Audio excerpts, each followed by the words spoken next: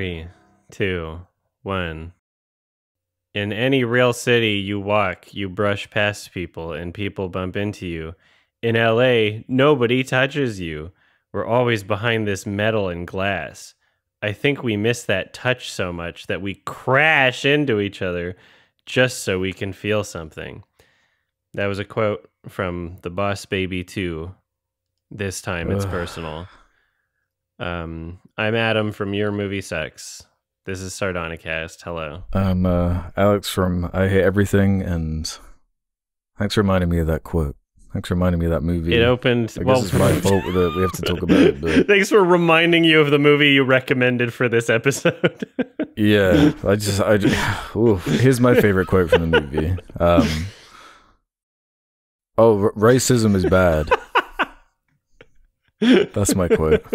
it's a good quote. Remember that? Yeah. I remember when they looked at the camera and said that every character at the same time. Oh, That was One of the millions of millions of characters. damn. That would have saved it. That would have saved it. Just a dozen you- people looking into the camera at the same time saying racism is bad, like all in unison. I think that would have saved the movie. It's Um, basically what it was. yeah yeah good movie so before we get too distracted on that um yeah, sorry, stay focused. we watched another film also oh also fucking happy uh 25th of december everybody which is when this episode's public i guess and happy before that for our patrons and uh uh members happy holidays of whatever the fuck you probably think about them Happy 25th. yeah, we kind of goofed it up because I. I was anticipating like, oh yeah, I'll recommend a, a Christmas movie for the Christmas episode, and then I was like, oh shit, I guess, I guess my recommendation is on Christmas, and then it, the episode's coming out two weeks after that. Yeah, We it's up. vaguely festive. We can leave it at that. Yes, And yeah, I actually have the Christmas wreck, and it, it kind of worked out a little bit, sort of un- unintentionally, but we can get into that crash later. yeah, yeah. Uh, when evil lurks is a film that uh, Mm. apparently we could have saw at TIFF, but we missed because I th- I guess we didn't know about it.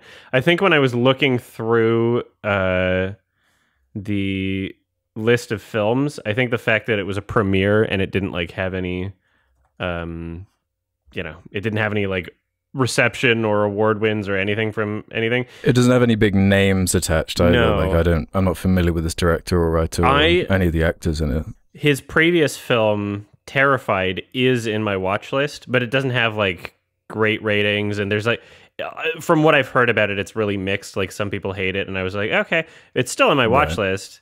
So there was some sort of like oh this is a movie that might be notable but you know to make room for other things i didn't. I think i was going to actually look at when exactly it was playing and see what fucking movies we would have had to have missed because we we saw a lot of great movies at the festival so uh, I don't know Mhm. what we would have cut out to see this. True. certainly certainly wouldn't have wanted to miss aggro drift no, No. not again, please. why not No when's more the 4k aggro. blu-ray when's No the more drift. all right No, uh, that would be on VHS only. It's the only way to watch it. yeah my, i mean that would that would sell they they do a lot of uh there's a lot of like special vhs releases now skinamarink got one um a24 released really? a vhs for climax and they only released like fucking 100 copies so they were all gone before i knew about it and i'm pissed but whatever Oh wow, yeah. It's like in the music space, just like tapes are kind of trendy. That's a weird in one. certain spaces now and coming back. I don't know how I feel about that. I, I get records, but I don't know about tapes. I got bad memories associated with tapes, man. vinyls have always made sense because it's the best and most physical like highest quality sounding way you can listen to your music really Yeah, like there's a there's a practical purpose to it you get nice little like album covers that are like big pictures you can hang up even if you want you know like we just had to make do with tapes. We didn't know better yeah at that point, but we know better now. So going back just seems antithetical, antithetical to me. So I guess that's the point. Um, this is a film from Argentina, mm. I think. Yeah, there we go, Argentina. And that's it. Everybody, have a good night.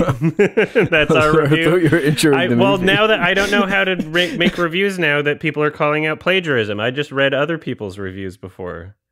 Mm, I don't know what to this say. Is really open. Wait, maybe I can just read the Wikipedia. Like, Isn't it fucking crazy how many people are just outed for just like, like what are the fu- you're what's the point of making videos? You're just reading like even if you even if what you're reading is just the plot synopsis, it's like okay, well you're kind of just exposing how much of your video is just reciting the plot and then saying I liked it. Fuck off! Everybody's pissing me off. this has always been like overt with channels like uh, you know those top ten channels and whatnot, like WatchMojo and stuff like that. They feel like you know just a, a list website being read off, but there's more of like an abstraction when it's these personality led channels and reviewers who are claiming to be giving their own opinions, and then it it turns out to be like not even a very well hidden.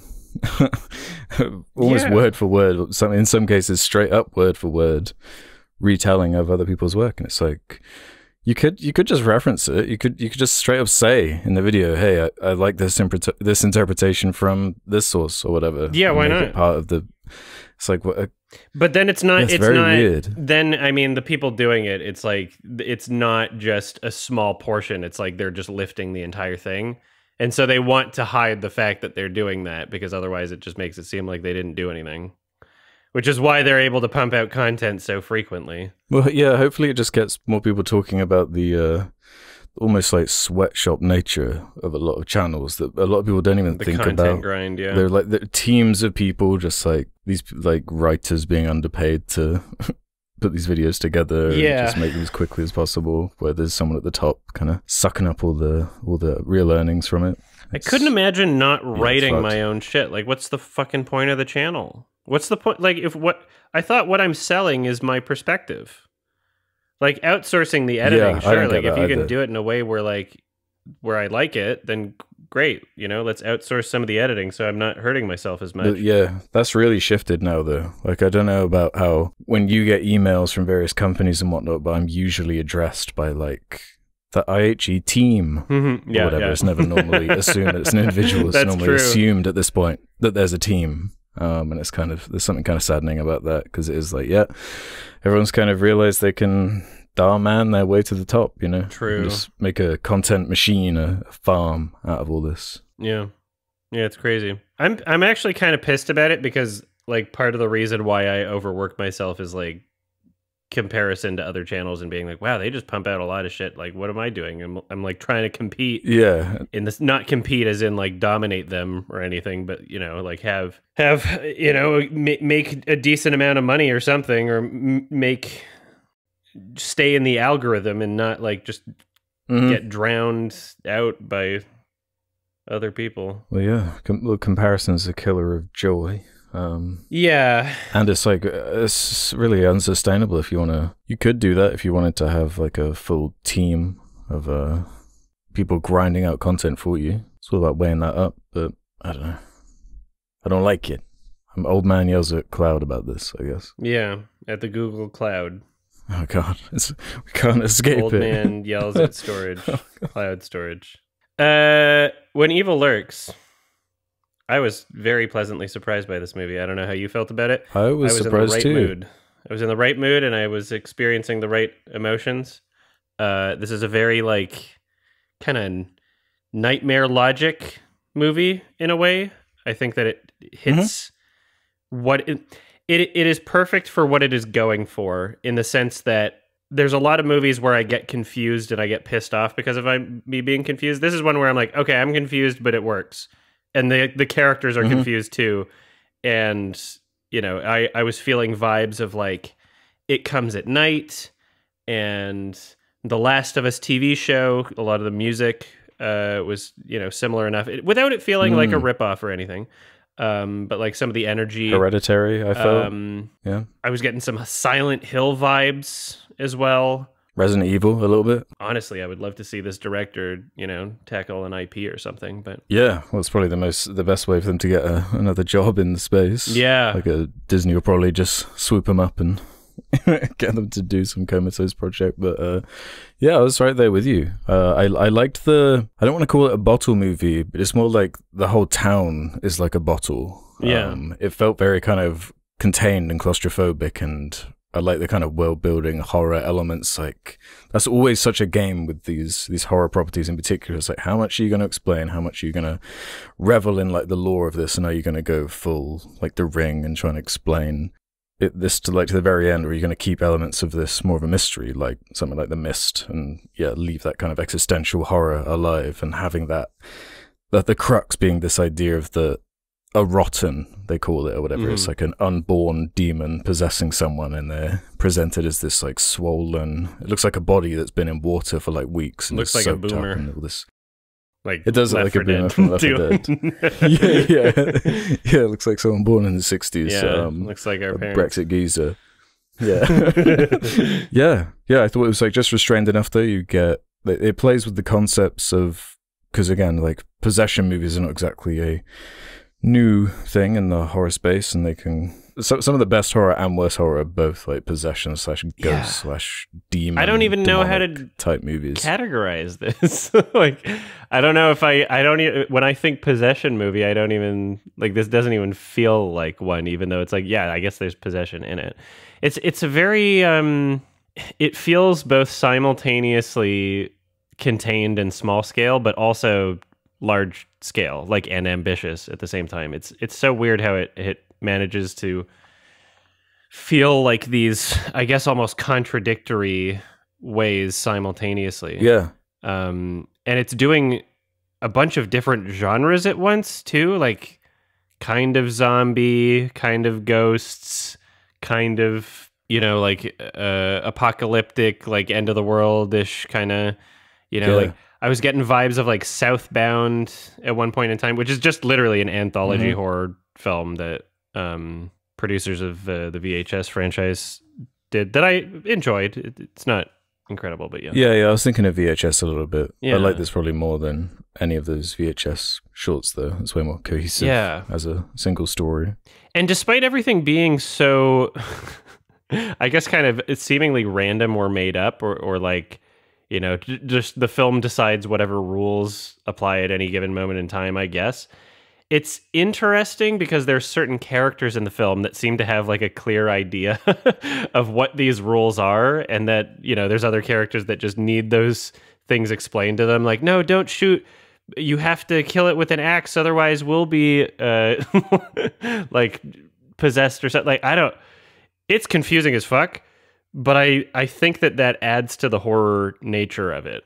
Um it feels way less manipulative than something like uh what's that fucking movie called the Qui- a quiet place where that movie God. that movie has more consistent rules but in any given scene, the goal of the scene is just like, oh, how do we make these characters in a situation where it's going to be tough for them to be quiet and they got to be quiet, otherwise they're going to get killed. You know, and it's just like the most repetitive, manipulative, like no characters are characters, they're all just props, right? Um, Mm-hmm.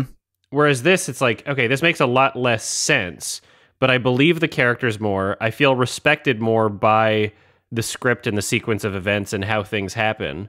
Um, I don't feel babied, you know, I watching the movie, which is unfortunately something I feel a lot of the time watching horror movies. Like it feels like there's actual consequences and stakes, and it, yeah, it's a conf- confusing mess, but it I like the mess. The me- it, the fact that it is a mess is is part of the charm. it. Yeah, it, it it it stays chaotic, and I Yeah, guess that's the idea with these lead two characters, where that yeah, it's presented in the chaotic way it would be to someone who's just kind of stumbled into this mess and they're trying to get out of it. And yeah, I do agree with the the way these rules, while I guess I guess not founded in any logic, the way it is kind of woven into that chaos does kind of it definitely helps with like the tension and the certain building fears of you as an audience member remembering details like someone says that yeah one of the signs of knowing that uh, the the possessed rotten thing is taken over your town is that animals are going to start to go mad or act Mhm. strange. And there are a few scenes that kind of escalate with that, with the goat and the whole shotgun thing. Yeah. Spoiler discussion, everybody. By the way, we are spoiling the whole yeah, movie. full spoilers. If you want to watch it, I know it's not like a super popular movie, so if this sounds good, I think it's on Shudder. Shudder produced it, which is a horror streaming Yeah. service. So yeah, watch it. Come back to the podcast or whatever. Watch a horror movie on Christmas. Why not? Yeah, I would. but uh, yeah, I, I, I it, it commits to the bit fully. Like it doesn't hold back. And I was thinking of you as soon as it gets to the the dog yeah, scene. it's normally like a, we we joke, but it is kind of an indicator for a lot of these horror movies. Like, are you gonna have the balls to have child characters Yeah. actually implicate? is this a real way, movie like, or is this a baby movie? Is the, really the just Yeah, that's exactly. the question. And I wasn't even I wasn't even upset at the whole like weird like oh sh- she seems to be like okay and she doesn't even have any like bite marks but she's like possessed I guess and like all of that after the fact um I wasn't even bothered by you know not seeing like like her fucking head being ripped off or something because what they were showing Mhm. in that moment of violence which lasted quite a lot longer than a moment it was like a minute of her just being fucking dragged around by her neck I was like this is fucking awesome like this like and it and it I know that these things upset some people but why would you want to watch a horror movie and not point. be upset by what you're saying like you, why do you why do you want to see like a tamed down version like what's the point why are you watching it right like f- show yeah, show it's me supposed to brutal be exploring like fear Yeah. and terror and yeah. Shit Well, just paranoia. go mm, watch the Yeah. boss baby. Like what are you talking about? Oh i don't want to see a child die in a horror movie. It's a fictional child. Adults lives are worth more to you? Like what, what are you talking about? Get out of your caveman brain. Like what fucking yeah sorry. All right. I'll stop ranting So there were mul- there were multiple scenes like that where I was kind of like, "Oh, you you haven't cut yet. You're like, you're lingering on this. You're Yeah. letting us revel in this this misery. I, I'm liking this. This is brutal this is intense." And yeah, the the way they build it up, especially like with that tension and real focus on this soundscape of like really uncomfortable sound editing. Um, Mhm. that definitely like helps build to those mic drop moments like the dog attack or whatever. There's normally some kind of stressful circle of sounds being edited around uh, with that kind of chaos that's happening with people screaming at each other and yeah, just these sounds being repeated and it's yeah, this quite an impressive movie like audio and visually to be Mhm. honest. i yeah, it's i like quite overwhelming. the the entire filmmaking aspect of this like the all of the the elements coming together to give us the audio and the visuals even the performances it's a really well made movie in all of those senses right Mhm. it's a it's a there's a lot of talent going into creating this film there's some really great shots really great choices for shots and how shots are presented the framing or there's some oneers or you know some overhead drone angles that worked really well in certain lighting. contexts yeah lighting is great um the practical effects like the gore um which there's obviously some cg here and there in you know placed in some of these effects but for the most part it worked really really well. I think there's like two shots i can think of where i'm like eh, i don't know if that one worked out the way you wanted it to. Um i didn't look up the budget but i heard it's like really low so i'm gonna look that up right now.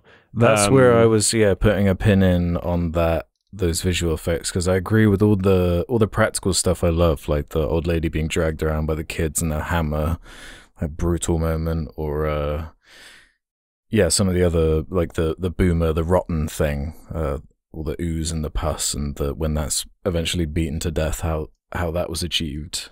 But yeah, the like self mutilation with the axe and just some shots like when they're riding around in the car and whatnot did look a little bit budget to me mm-hmm. which did pull me out a, cou- a couple of those moments especially the self mutilation thing with the with the axe because that's That was that's, funny. that's a fun moment with the goat Yeah. um, and it's like building up to something it's like clearly yeah, here's the the crescendo, and then and it's like a little bit goofy with how some of the visuals Yeah. together. It, I, I was I was still successfully enjoying that because I was shocked and caught off guard in terms of like what was happening. And I do like that it didn't hold back in terms of showing it in its brutality. Um, but this is one of those things where it's like, what is this? This like this director's like second film or something? Let's see. It's not his second film. He's made like a handful. He's made like five or something. Um, Okay. but from what I can tell, and I can't really find this information, I wish I could. From what I can tell, he's not working with like a super high budget. That's my understanding. Maybe I could be wrong, but I'll have to find this information somewhere. Somebody leave a comment if you if you know where this uh, the source would be for that, or why I would hear that it's super low budget. Anyway, I think for the most part it works together, and just seeing these tiny little imperfections I'm still not bothered by it because this isn't a movie that takes itself so super seriously. And it's not a movie that I'm watching in the most literal of senses in terms of like a character's story from point A to point B, right? I believe the performances and I believe what these characters are um, experiencing in the context of any given scene. But when weird things happen that kind of take me out of the movie, I'm still like, oh, that's kind of silly or dumb, but I'm not like being taken out of the movie doesn't feel like such a betrayal of my experience because a lot of my experience watching this is just me thinking about it as a movie. I'm not it's it's it's in this weird zone of being able to enjoy it completely unironically, but also with elements of this kind of ironic enjoyment in it as well. Like if something's goofy, I'm just like still there along with it for the ride, being like, hell yeah, this is a goofy fucking movie. Like I'm still just kind of loving what I'm seeing. So it does have kind of a, Mm. an armor in that sense from me. Uh, certain things might have bothered. Yeah, me I can, I can get that because that, that, yeah, it wasn't really like the characters' plight or any like arcs that they were going through. Anything like this is really not that kind of movie. It's much more about that oppressive atmosphere and kind Mhm. of self-inserting yourself into the idea of stumbling into a situation this dire and the the mistakes they make and Yeah. just how quickly it crumbles and it's just something I like about the horror genre is it's it's like one of the only places where audiences generally are quite okay with like miserable endings and Mhm. the whole purpose of the story just being yeah there's there's not going to be anything really good comes from this this is going to end in a place a lot worse than where it begins and i think that's like a fun thing to explore and i, I do like yeah the way it wraps up and just the idea of this this, this, like parasitic entity, this this demonic force overtaking a town, and how that looks locked to the, these two characters' perspectives. I thought that's that's cool and cleverly explored, with especially considering that kind of smaller budget and the scrappiness that has to come from that. Um, but yeah, I think I was just pulled out of the experience a little bit more by some of that those uh, lower visual effect kind of shots, like when the axe like goes into the guy's head and he becomes a CG monster for a few frames. Like I don't know if that bothers me more than most, but Mhm.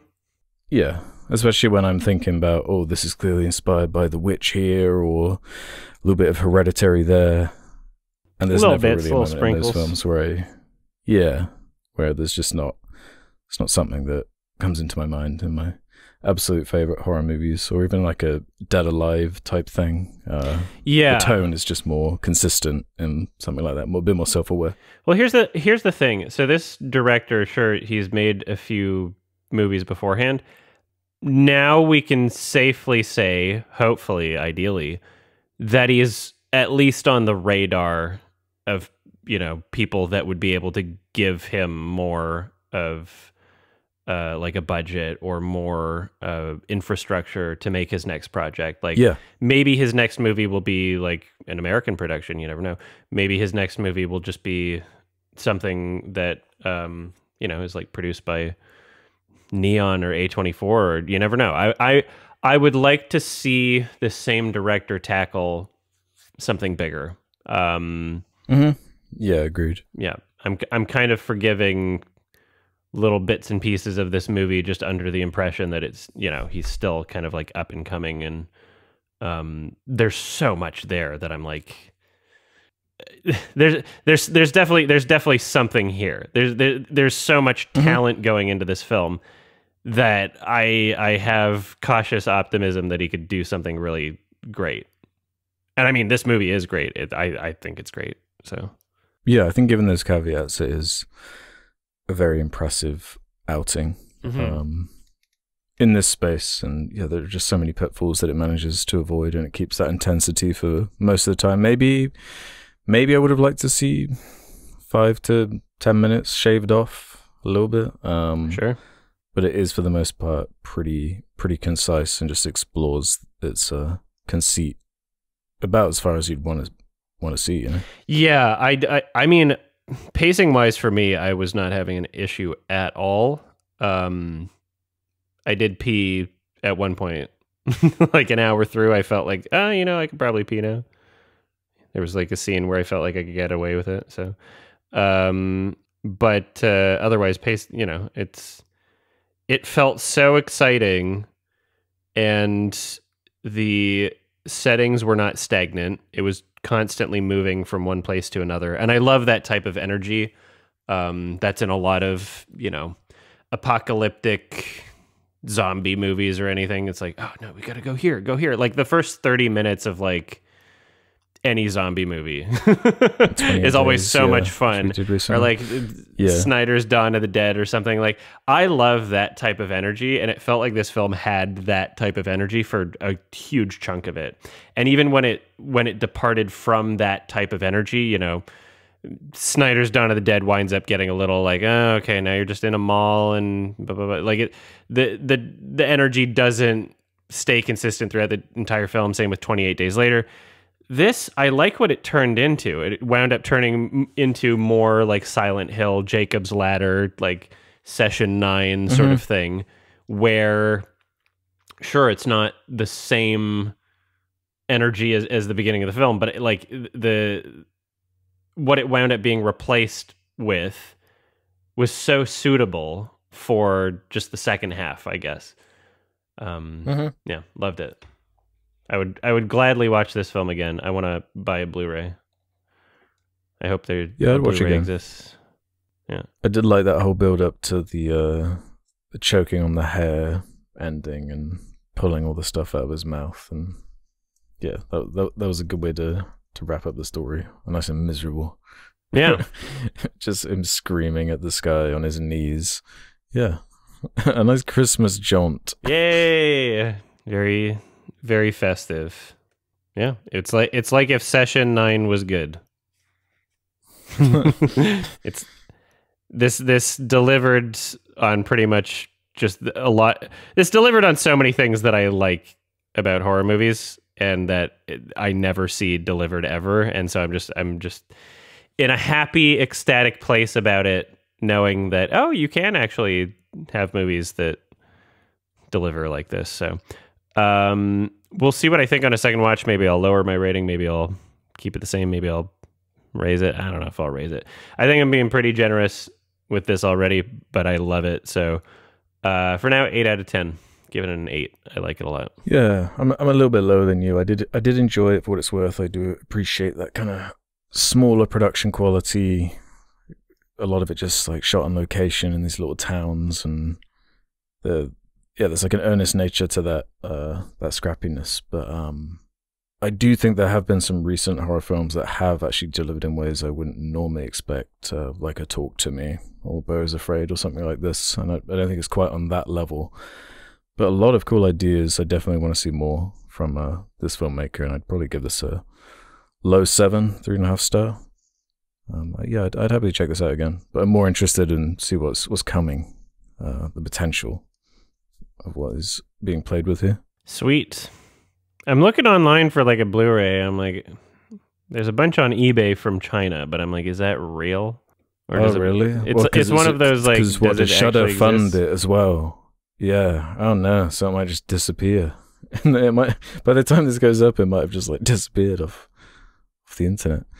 That's another annoying thing though about the the budget's never being available. That's happening more and more. Yeah. more, like streaming funded stuff is. Yeah, why out. don't So the- it never really used to be that much of a secret. No. Like, but it is I don't know why they want to just keep these secrets now. They're like, we won't tell you how much it costs or how much we made off of it or how many people watched it. Just all these metrics for success that I feel are kind of important to have in a conversation where we talk about movies, right? it's just, it's part of the Yeah. conversation. But the fact it never used to be an issue Yeah. will seem like something that they felt like they need to hide. Yeah. uh, is it? Yeah, is it just because of the business model being unsustainable and they feel like it's embarrassing? I don't know. I'm just so I'm so confused about it. All right, next time you people strike, just to ask for that. Yeah, maybe that's what they're trying to hide. Is like some of these films come out and they literally get like five thousand views or something, or like five thousand engagements, and they don't want to have to reveal that data for fear of their stock prices going down. I, I yeah, don't I know. have no idea. No idea. Very weird, but very annoying because it does really. it's quite an important point to anchor certain conversations around. Like it would help when we're talking about Crash, for example. You know, Yeah. whatever. Speaking of Crash. yeah, so I guess this is my Christmassy recommendations, specifically chosen for its Christmas merits. I guess Crash is the 2004 Paul Haggis and Paul Haggis written and directed Oscar award winning. How many Oscars? Well, six time nominated, three time winner. Most controversial Oscar winner of all time. Crash. Um, the story is racism is bad. Does that about wrap it up for you? I mean, um, yeah. what, like, what? How would you actually like if you if you go to like the Wikipedia for this movie and go to the plot section? It's like just paragraph on paragraph on paragraph on paragraph. Not because it's particularly complicated, but more so that there's like twenty characters and all these different threads, and they're all like interlinking with each other, and it's it's it's clearly like a, a a concept. There was a concept for this movie, and everything with the writing style is like trying to justify this concept more so than actually like explore characters or True. juggle complicated ideas. It just seems in service for this s- spider web like concept of a film. Um, Yeah, it's uh, it um, it, it it it's it's like a much worse version of like of one of um Iñárritu's films. I was just kind of Yeah. watching this, being like, "Damn, I wish I was watching Babel."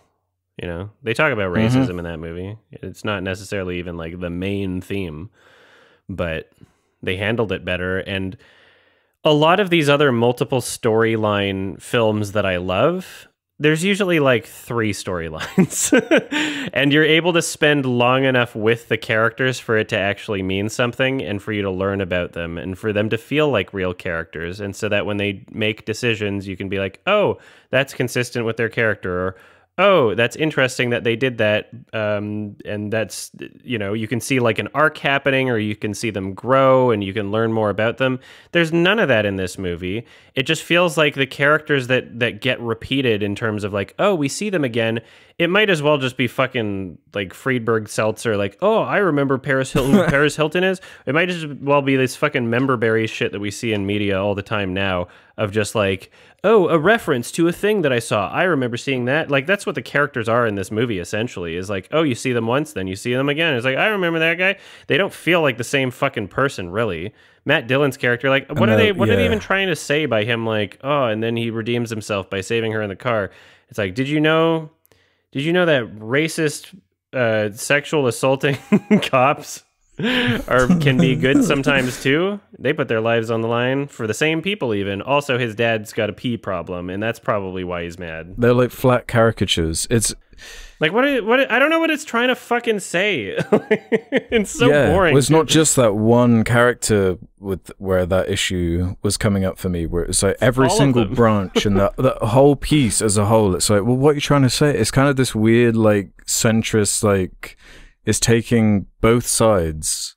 Each Oh, each one of these characters is like exploring both sides of an argument and then being like, well, just putting his hands up. It's like it's like a shrug of a movie. It's like, well, here it is, but and this this sucks, right? We all know it sucks, but life goes on. It's like this really annoying, like if you watch this movie, then you're not as guilty as you were before you watched the movie. yeah. Well, and the difference is with something like a Magnolia, which is like a big epic. I like, know, right? Paul Thomas Anderson, I like need to watch big, that again. Big branching movie. It has Paul Thomas Thomas Anderson direction and especially dialogue. Uh, that that can really help because yeah, there's a lot of strands going on in Crash and millions of characters and perhaps if the dialogue was quippy or good enough or cleverly written enough, maybe you could get by on how little time each one of these characters is given or anything interesting to flesh them out. Yeah. But it just Okay. doesn't. It, it's just it stays a mile wide and inch deep like the whole time. Let's let's follow the complete storyline of just one character. Let's go Sandra Bullock, Oh, okay. Yeah. right? She So it starts on her It starts on her complaining about the Asian drivers. She has Yeah. that racist rant. She does a racism. She goes into her SUV, gets carjacked by Ludacris. Ludacris. Um, this this film was a lot funnier than I was expecting. goes home to be honest. and is like, "Okay, we need the locks changed, but we have no idea how to do this." so they get hmm the the their workers, the maid and like I guess her her relative helping out, uh, and she's like, I don't trust them because they're Mexican, and says it really loudly, complaining to Bl- Brendan Fraser, just in the house where they can hear her, and she's like, they're gonna they're gonna sell the keys to their gangbanger buddies, and it's like in my head, I'm just thinking like how's that supposed to work? Like you keep the keys like are you expecting him to take the key? Like you can you can just not Mhm. give him the key. what are you talking about? He changes the lock, you keep the keys. When would he do when would he copy or sell the keys? He's leaving without the keys. Anyway, then he's like, I'm sad. I'll just give you the keys. I wasn't going to do that. I'm a good person. And then she's like, well, whatever, I'm still racist. Then later we see her complaining to the maid, like, these dishes should be put away just for just once. Just put away the dishes. And I'm like, Jesus, what Wait, do you, even missed do? do you, have missed a that job? awesome line. You missed that awesome line from Sandra Bullock where she says, uh, "He's gonna sell our key to one of his homies." yeah. Oh, that was awesome. I loved that. like I don't know what the fuck she does.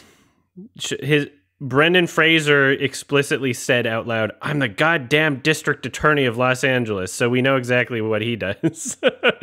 and Yeah. we don't know what she like. I don't know if she has a job. She seems really lazy. Like, whoa, okay. I don't know why you have a maid, but anyway, so her story then concludes by just ignoring her for the last hour and a half of the movie and then come back to her and she falls down the stairs. she falls down the stairs and then says like, "You know, you're my actually my best friend." to the to the maid. And I'm like, what? None of this matters because we've seen her for like she has five minutes of screen time the entire movie, and it pretends that this is significant. And this, like, the entire last like thirty or forty minutes of the movie is all of these what what what are appearing to be as payoffs. But without any real buildup associated with any of them, we got Terrence Howard being like, "I've had it with this," and like having his like freak out with the police officers is like, okay, I understand that one, you know, because he the his wife got sexually assaulted. I don't know why he's Mhm. doing that still. It just seems like crazy and irrational, and I don't know why it needs to be from Ludacris or what. Like the the ingredients are almost there, but it just doesn't make sense how they presented it. Then we got fucking oh, I'm actually a family man, uh, Mexican guy, Michael Pena or whatever, and he's like, actually, I have a daughter, and then the the Persian guy wants to kill him for for changing his locks because he got broken into even though everyone around him has told him actually it was your door and, Well, and yeah, he, and he, was told trying you to get Michael Pena door. to. He was trying to get Pena to change the door because he couldn't fix the locks because the door needed replacing first. And then, yeah, he got angry at Pena for that.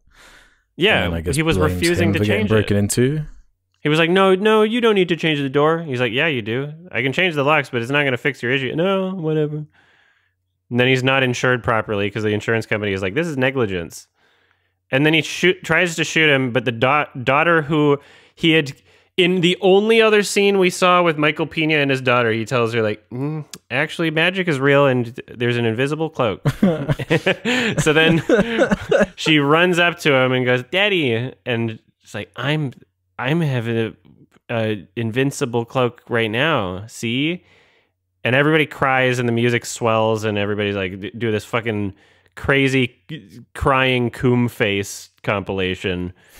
and then they just don't report the crime, and the Persian guy goes back to, to like life as usual. And then it Well, turns out his daughter had blanks, and it's like, "Fucking oh god." I hate this movie. This is so stupid. Yeah, the the whole Christmas miracle angle of it. Uh, it- yeah, just by complete accident, I guess I wound up recommending this movie uh, for our Christmas Day discussion, and yeah, that's that's part of it. I guess like it's just trying to say something about faith and being being uh, fruitful and friendly to each other. It's like it's like a really corny presentation that that whole angle that that Yeah. whole she was my angel she came to protect me to protect us like thing like with that little girl. That was like that was hilarious. I thought it building up to this was really tragedy with, with the little girl being killed was like supposed to be the point of the movie.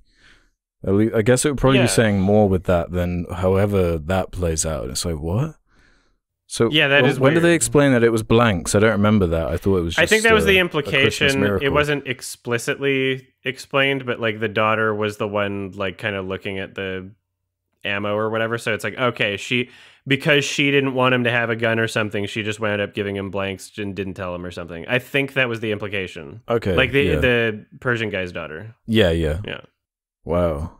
And th- this almost like uh 28 weeks later where there's this like crazy disconnect with how people talk about this or remember this with how watching yeah. the film feels. There's a bit of that going on, but more so like on a critical perspective, I'd say. Some like pretty respected voices like came out to bat for this film around the time it came out. Mark Kermode is a big fan of it.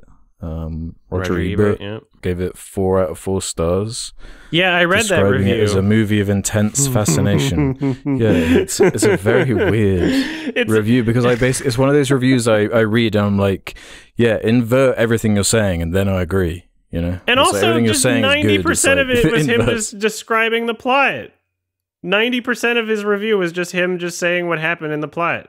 This yeah, it's such well, a weird, and then he gets to like pervasive problem. I'm like, fuck, this is just what reviews have been forever, and I didn't even notice. Like, that's Yeah. Jesus. Well, th- this one, this quote from it. What is wonderful, wonderful about Crash is that it tells not simple-minded parables, but textured human stories based on paradoxes. No, It's just like I just, I just really don't agree with that because I found each one of these threads to be completely bare yeah, and extremely simple. Like, yeah, you can take any one of these threads and be like, okay, what what actually were they trying to say with that angel uh Christmas miracle little girl thing? That that racism is bad and that because he had tattoos and was being judged as if he was a criminal, then then that's bad. So well, okay, well done. That's like it's not like a new observation. It's not a Yeah. new way to put it on a character or You explore this. It's just like you shouldn't judge people if they look like they're criminals, right? You can't just be like, okay, this guy has tattoos because it's actually people are family people, except Ludacris, who actually has a gun and will rob you and steal your car, even though he was complaining about being stereotyped. earlier. yeah, I, that's that was a weird fucking reveal. I'm like, wow, what? Like, is this supposed to be cool? Like, what are you saying? The Ludacris thing was very weird because he kind of has like a redemption arc as well because he's he steals the Kinda. van or whatever. Yeah. He runs over the the Asian guy, but then oh, he Oh, yeah. winds up he steals like a van that's like full of child slaves. Yeah. and he like he's like I could profit five hundred bucks off each of you guys, but you know what? Because I'm such a good guy, I'm gonna go let you free in Chinatown with a smile on his face. also, never acknowledges where his friend went. Like he's just he's, Yeah. he is completely unaware that his friend is like murdered right now. Dead. Yeah. Yeah, but it tries to have a happy ending, and he's like just does that little smirk at the camera, like yeah. and I thought that meanwhile, like hilarious. like fucking this movie about racism, like the Asians in this movie are kind of unredeemed. it's like actually you were the villains the whole time.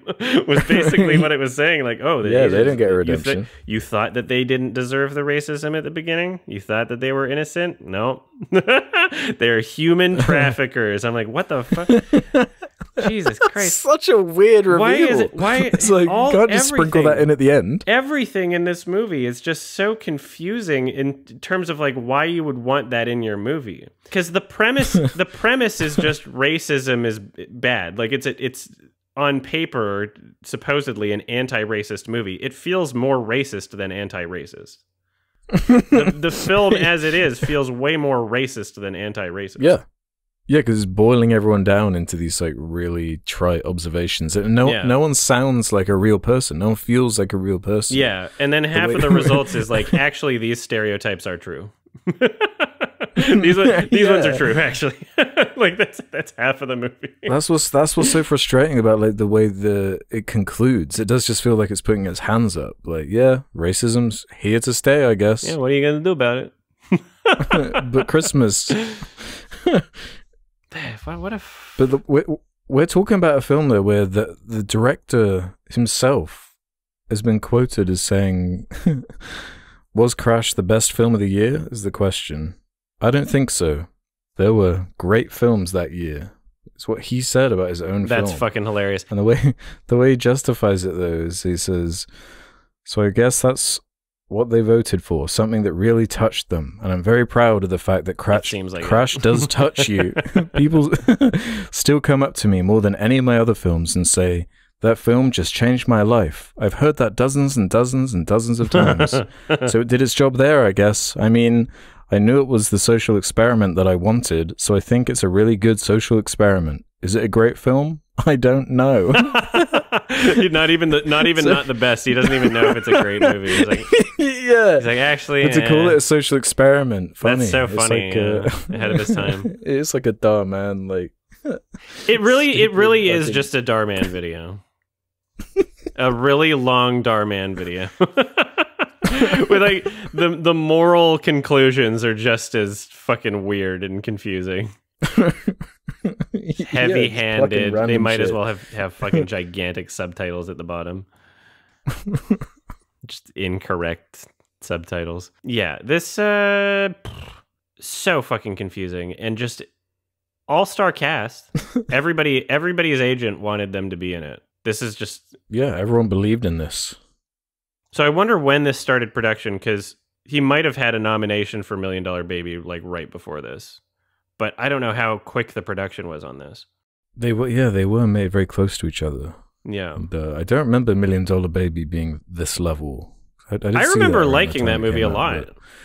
Yeah, yeah. I think um, perhaps what it's dealing with is a bit more focused. It's not like millions of characters jumping around. It's just focused Yeah. on a few. Um, so maybe it's that. But I think just from a from a, a base level, it's just a horrible idea. And like even going to if you go to like the development section on this movie, there's there's a quote from him talking about he later stated that he wrote Crash not simply to criticize racists, but to bust liberals for the idea that the United States had become a post racial society.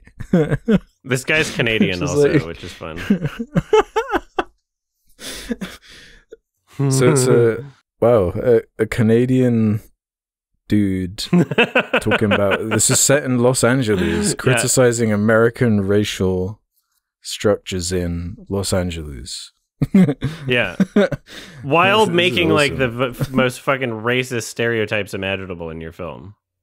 like he really does seem like kind of like outsider trying to trying to give his two cents here and I, I guess everybody just kind of fucking ate it up it really does feel like you know this winning best picture was just everybody simultaneously saying like yeah we're sorry we deserve this like we, we're acknowledging our transgressions Uh, Well, there are theories that, of course, this was Brokeback Mountain year, um, and actually Capote year as well. yes. Uh, both both losing out to this, with the the more Brokeback Mountain being the controversial Best Picture Mhm. loser to this. Um, that's kind of the big drama here, and so like, yeah, everyone, including the director of the film, agrees basically.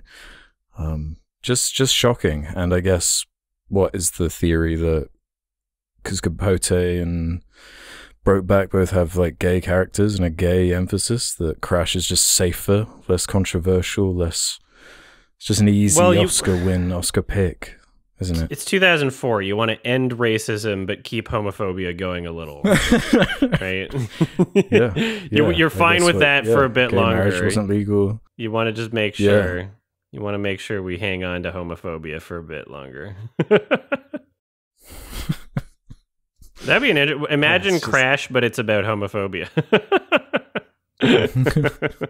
Everyone's gay, or or not. It's like it's it's it's trying to do everything. It's it's trying to do what five seasons of The Wire do in under two hours. You know? yeah, that is funny. It's trying to like break down every socio-political concept, race relations, affirmative action, sexual violence, police Yeah. brutality, gang violence, It does. reform. It's like, oh my god, what are you, what are you trying to say with this? It doesn't spend enough time on anything to in order for anything to No. mean anything or be significant. Like, what the fuck was Brendan Fraser's story? What did he do? like, what was? The, did he have an he didn't arc? have one. He, uh, he was pretty much was only there because I think he he was one of the main reasons the film got made. Him agreeing to be in it because that's how much of a pull Brendan had around this time. Um, because yeah, what six million dollar budget, pretty low. I'm pretty Mhm. sure the director had to remortgage his house like three times in order to get this made, and it Yeah. was a huge, huge success as far as what it brought into the box office. Nearly nearly a hundred million off that that six million budget, which is absolutely nuts. I guess audiences loved this. Um, yeah, premiered at TIFF. yeah. I wonder, like, if if I would have been swept into it, being a if I was there at that premiere with everyone losing it, a bit of a more simplistic understanding of some of these things. Yeah, well, so what, did did you watch it when you were younger or no? I had a hilarious memory actually Hmm. to do with this where I was only like 10 when this came out, but I'm pretty sure I went into like the living room my mum was watching it and it was the like little girl hmm, hmm, angel hmm, scene and I remember thinking it was dumb as a 10 year old and I just never thought about it again. That's I great. had this weird deja vu when watching it, but outside of that, nah, not seen it. Yeah. So I like whenever I rated it on my IMDb account for the first time. So who knows? I could have been like 15 or some shit. Like I, this, is, this is an ancient Yeah. IMDb account. Um, I gave it like a five out of 10, and I remember, I do vividly remember feeling the, what the intended emotions at certain snippets of the movie. Like I do feel like, uh, and and even on this rewatch, um, maybe it might just be like memory emotion or or like me remembering Mm. how I was feeling at the time. But there's certain there's certain there's certain things that do click with me in this film. Not in the greater context of the movie, but completely removed from the rest of it. So, like the the scene where she's like in the car and like it's fucking lighting on fire, and like just that moment of like the fl- you can see the flames behind her. You can see her start like freaking out and him being pulled back. Like Mhm. there's something that feels kind of like desperate in that moment. And and I think that the the performance and the visuals and to some extent the music although now retrospectively I really don't like the music at all. But um it is the least bad in that scene. And there's there's things about it where it's Yeah. just like the the pieces of the production fit together in a way that in that moment I was like, okay, this works for me. Um, but you know, now watching it, I'm like, fuck, like, why? What are you trying to say here? And the whole, you know, that not just what are you trying to say, but like none of this makes any sense in terms of like n- you would just cut the fucking seatbelt immediately. No, no officer or you know firefighter, anybody arriving on onto a scene like this is going to have a little pep talk with her for like five minutes while they, while Yeah, she's like trying to get out. You're, like you just fucking do it. Get out of there. Like and no nobody would do that. That is un, entirely unrealistic and stupid. Yeah, and and just As is most of the drama in this movie. yeah, and, and like you could have made like individual short films almost out of a lot of these. Like there's no glue holding these stories together other than just like oh they walked past each other here. like at the end, Mhm. like the the woman that we saw earlier, she gets involved in a car crash. It's like oh dude, it's her. It's it's literally just it feels like reference reward. like there's no there's no significant purpose towards them being connected. It's just they are connected incidentally.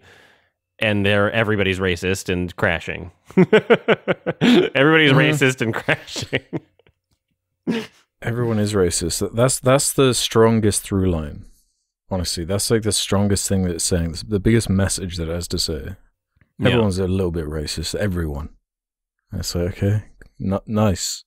And But that- half of the time, your assumptions about people are right, and they're doing secret human Yeah. trafficking, and they will fucking mug you and shit. But it's going back to the Academy Awards. It won or was nominated for, right? Yes, Some of the, some of the things it was nominated for or won are just like shocking. yes, the the biggest confusing one to me is it, it won for best writing, best original screenplay. It actually won that. that's um, crazy.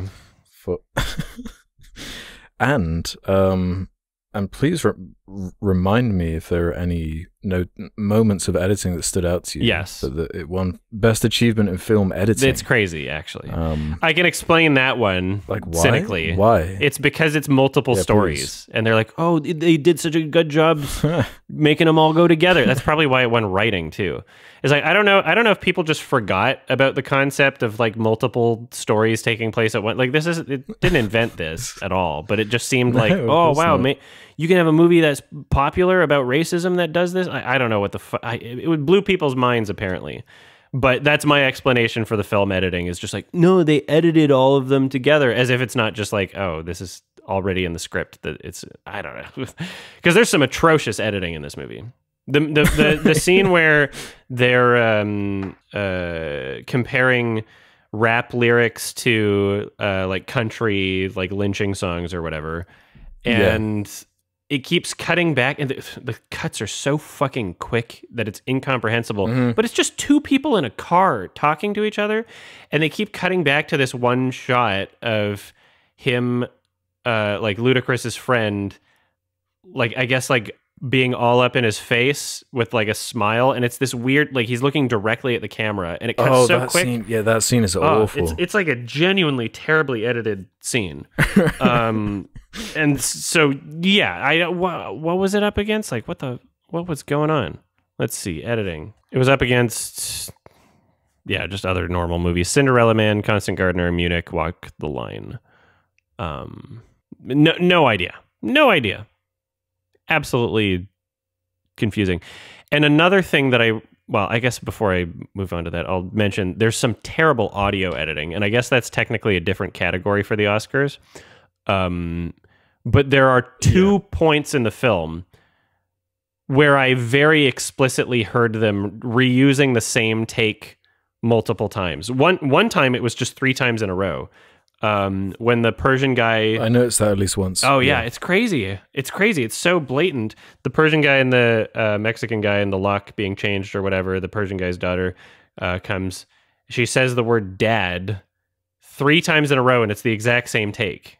They just kept repeating the same take. Dad, dad, dad. And I was like, "What the? Fu- You're really doing that?" And they did that. they, they did that multiple times in the movie, like with different takes. They like they just d- did that. and it's so noticeable and they're right next to each other um Oh man. yeah not great not not great uh putting the film together not great editing not great uh the things that i love about movies are not in this movie All of the performances that were that are present in this film, all 800 different performances. Uh, Matt Dillon was picked out got nominated for best performance by an actor in a supporting role. hmm I guess I guess he kind of has the most screen time, prob- probably. Out of Who Yeah. who um did anybody The get most happens to him. nominated for like the lead? Are they all considered supporting? Good question. like they didn't Yeah, want to they I didn't want to like go through the effort of figuring out who the main character was. That is a good observation. I can't even. No, yeah, yeah, there's no nominations for lead, it. There's no. which makes No sense because they who who the fuck even knows who the lead is in this movie? Yeah, Uh, yeah, it definitely doesn't have one. But I guess if you had to pick one, it would be him. Just find out who Yeah, has the most screen time. I think that's literally how they calculated his screen time for lead performance and supporting. Oh my god. But that would be a tough one. tough one to try and find out. Um, yeah, I mean, I, I, he did a good job. I, I my criticisms aren't really with Matt Dillon, I guess. His character was annoying, but The standout worst straight up acting was probably Sandra Bullock for me. As far as like, she sucks. there's just no, there's no scene where I'm like buying that this is this character. All I see is just Sandra Bullock. There's a lot of bad paycheck. performances. Ludacris sucked. Brendan kind of fucking oh, sucked. Like his everything Brendan Fraser was saying sounded so fucking fake. Like if he was doing a fake voice the whole time. Like, was, like he's a little kid trying to sound like an adult. It, it seemed like they had him for a few hours and like they were rushing through Honestly. stuff. That's that's the vibe I was getting. they with that. filmed his scenes in like like- an hour, maybe. And the same with like Keith David. That was something I did like. I was like, oh, this character's Oh, kind of yeah. cool. He's got a he was in it. gravitas. I like I like Keith David a lot. But it's like one scene with the whole joke again being, yep, look, uh, black people can kind of be racist too and endorse these systems as long as they're What? okay. It's like, God, God damn it, man! This is so lame. This repetitive point they just keep hammering again and again. I'm I'm kind they of take that cop character too. yeah. Ugh. Fucking Don Cheadle, his character and his resolution at the end. I felt like they like there was no nothing that made sense leading up to that being what his character was. So essentially he he turns out to be the brother of Ludacris's friend who gets shot by the fucking partner of Matt Dillon cop. And so at the hospital or whatever, uh, John Cheadle's mother is like, You can't pretend to be a part of this family. You were always so busy and you're just blah, blah, blah, blah, blah. And I guess like maybe the point of that was trying to just show, like, oh, you know, like some black people, they have really respectable jobs and some of them turn to a life of crime. They can be from the same family and it really just Mhm. depends on what you're blah, blah, blah.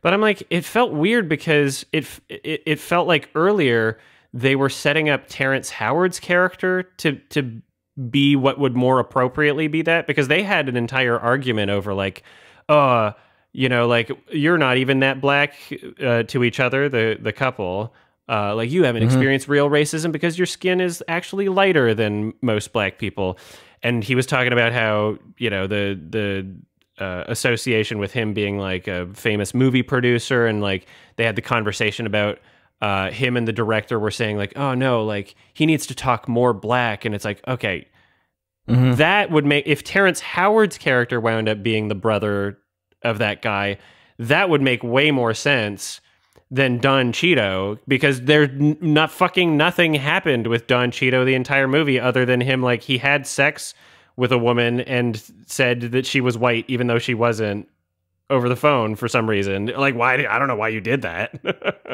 and, Yeah, like what so else happened with his character? Why does it need so many? What else happened with his yeah, character? you get nothing, nothing. You could have removed it. You could have removed his character and just had Terrence Howard experience that instead, maybe.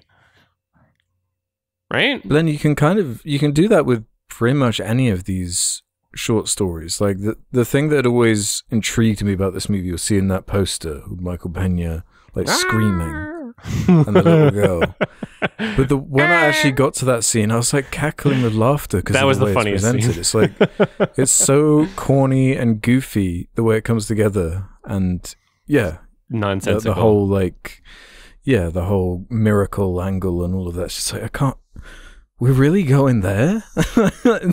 this is like Unearned. hallmark corny. It's like, yeah, it's so goofy and corny. It's like, I, yeah, I cannot, I cannot break down any any of what it's trying to say. It's so, it's so, it's so surface level. It's so. eh, We often talk about these as normally as to to praise a film this type of writing where there are lots of different characters and they all feel like different characters where this is an example of the inverse where every character just feels like the same writer the writer, yeah, same the same perspective Mr. Haggis. Yeah.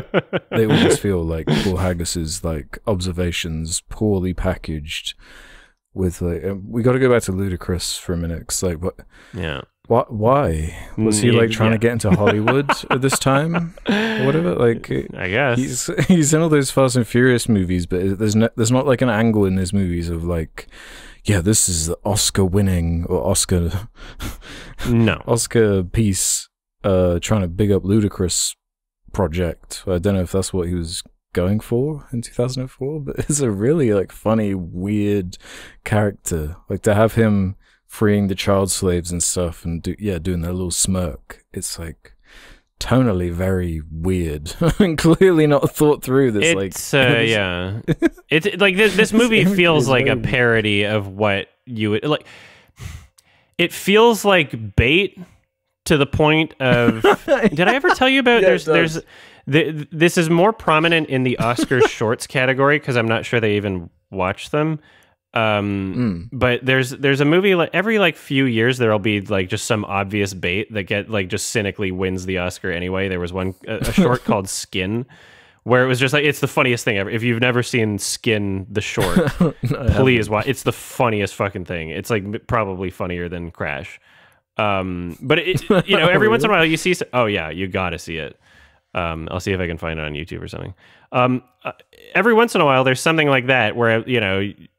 I'm just watching the Oscars. I'm like, they're gonna pick that one. They they they, they didn't watch it probably, and they're just gonna pick it because it's like, oh, racism bad or whatever, and it's just the ob- most obvious insincere bait ever. This is this is a film where if this didn't exist and someone made this as a parody, I would say that's unrealistic. That's too far. this is a film that like if if this didn't exist, I would be like, no, that's pushing it. Like I don't I don't th- this seems like even too much of bait for the Oscars. This seems like this seems so insincere and bad that there's no way this would be a best Pi- picture winner and yet here we are. it really just feels like a, an unbelievable parody.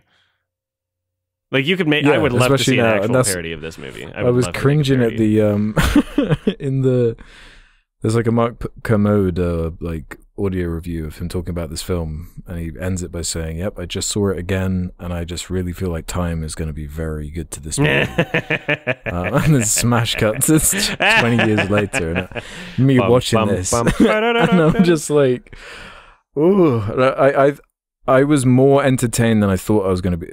I thought this was just going to be kind of boring bad, but I thought this was so inept in what it was trying to do that it was actually quite funny.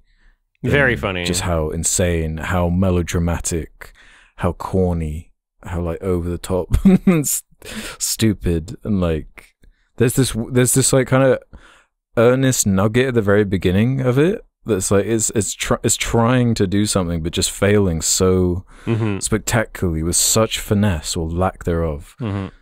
That's like, yeah, there is something spectacular about, and then of course, ironically funny with how how much has been like jerked off and supported. It's it's very weird. It's like the. I don't know. Is it the film that kind of revealed that Oscar veneer a little bit? Like, what the? F- Well, this what? okay. I mean, yeah. There's this 2004. I'm assuming every single Academy voter was like a 90 year old white guy anyway, and it was just like, you know, we're, we got to tell everybody how bad we feel. this is this is our public apology to the world for being racist and also being like pedophiles and Harvey Weinstein and shit. Um, so we're just gonna we're just gonna we have an out and we're gonna make people think that we're good people or something. I don't know. I mean, like I'm saying that, and sure, like there's people that obviously connected with it, but like even when you read the Roger Ebert review, he's like, I think people will be better people from seeing this. it's it's so embarrassing. This movie and what it brings out of people. Um, yeah. This is a this is a hilarious retrospective as in just being able to to look at this 20 years later and be like, "Damn." yeah. This honestly I can't believe I'm saying this, but it makes me want to apologize to Green Book in comparison. It's worse. that's that's like well written compared to this, you know? Yeah, Green Book is like a disappointing win. Like, ah, come on, whatever. This is like a formulated, but this is like an actual fucking train wreck. It like it is a crash in of itself. yeah, you can't look away. Yeah, it's the obvious joke, but it's true. It's very true. Like it, it, it it, it like there's not a single element that holds it up. Like it's not like we haven't really talked much about like the framing or the way it was shot, but it's, it's terribly shot. It's so it's so frantic and up close, especially like so many close-ups on faces, and you never really get get a good feeling of the space you're in. And it's No. supposed to be, it's supposed to, I guess, have like a attention to it. A that frantic nature is supposed to make it intense and be like a, a character drama, like this is England or something. This is breaking down the the walls of society and getting in up close. But it's like, no, I just can't tell what's going on, and I'm just I don't need to be seeing everyone's paws all the time. This is just claustrophobic and distracting and lame. Oh, and the songs. We got to talk about the, The music- the that was music is another reason it, it was so funny. The little girl fake out death scene. And like that song that played. Everyone, everyone like loves this song. Apparently, like obsessed with the the Crash soundtrack. The Wonder Woman Like- soundtrack. yeah, it does kind of sound like that. It just it was not appropriate. It, but the, all of the all of the serious subject matter, like now I now when I look at the poster, I like I smile and like start giggling, which is which is not. it looks like he's singing the theme of the movie. oh, like, true. I yeah. Can't, I can't take this project seriously anymore. No. like not not not knowing what it was and just like there's such a a memey quality to this. it was vague enough like before I rewatched it. Like looking at that poster, I was like, "Oh, that's a good poster." And now I'm like, "Oof, "Oh, cool." Yeah, I feel like that's such a failure. If like anything that reminds you of it, like makes you smile and laugh at it. it's not like a reminder of like, oh, that remember that great scene or oh, that color palette's all coming back to me now. Mhm. Looking at that poster, it's like, nope. it's just every bad thing is coming rushing back. Even ignoring Oh the God. Wonder Woman esque qualities to many of the songs in the soundtrack, even the parts without like the weird vocals, it it was just so fucking drony and sleepy, and it, it it has this weird, like almost there's there's a certain quality to the way that this soundtrack sounds that is just so fucking stuck in the mid 2000s. I have only ever mm-hmm. heard things that sound like that within like a 5 year period in the mid 2000s and then never again because I guess everybody decided it sucked. Like th- th- this movie, the soundtrack especially makes it feel so fucking dated. Whereas, you know, Brokeback Mountain Yeah. same year incredible soundtrack. Doesn't feel dated in the slightest. In fact brokeback mountain feels ahead of its time. Bro- brokeback mountain feels like like a more modern movie even though it's a period piece whereas crash feels just like so perpetually eternally stuck in this stupid 2004 time period of just some shitty Oh, yeah. like It's made for TV quality fucking canadian film basically it sucks Yeah, and it's it's like uh, man, it's not like this was an attempt in the '60s or something. you No. know? Like, this- it's 2004. We had Lane, American Beauty, fucking Do the Right Thing. We've had like loads of films that like talk about these kinds of things already. Everybody forgot. It's just that response. Like it, it, it I, I cannot exaggerate enough to the audience like how funny it is to sit down and watch this film in 2023. it's crazy. Like you could say it's like painting my expectations too harshly or wrong, but it's like act- it's actually mad. Like it's got like a seven point seven, pretty high rating on IMDb from like four, nearly half a million people, half a million ratings, and a pretty solid Metascore. Then you sit down and watch this like actual parody You you could watch it like an American Psycho, like and just pretend mm-hmm. like it's written to intentionally be a parody, and it it kind of works on that level, like a really a really good comedy, an awesome unintentional comedy. But just mad that like so many big names are attached, and yeah, just the groundswell support it got. I in really, every avenue, yeah, critically, money, like it's just mad.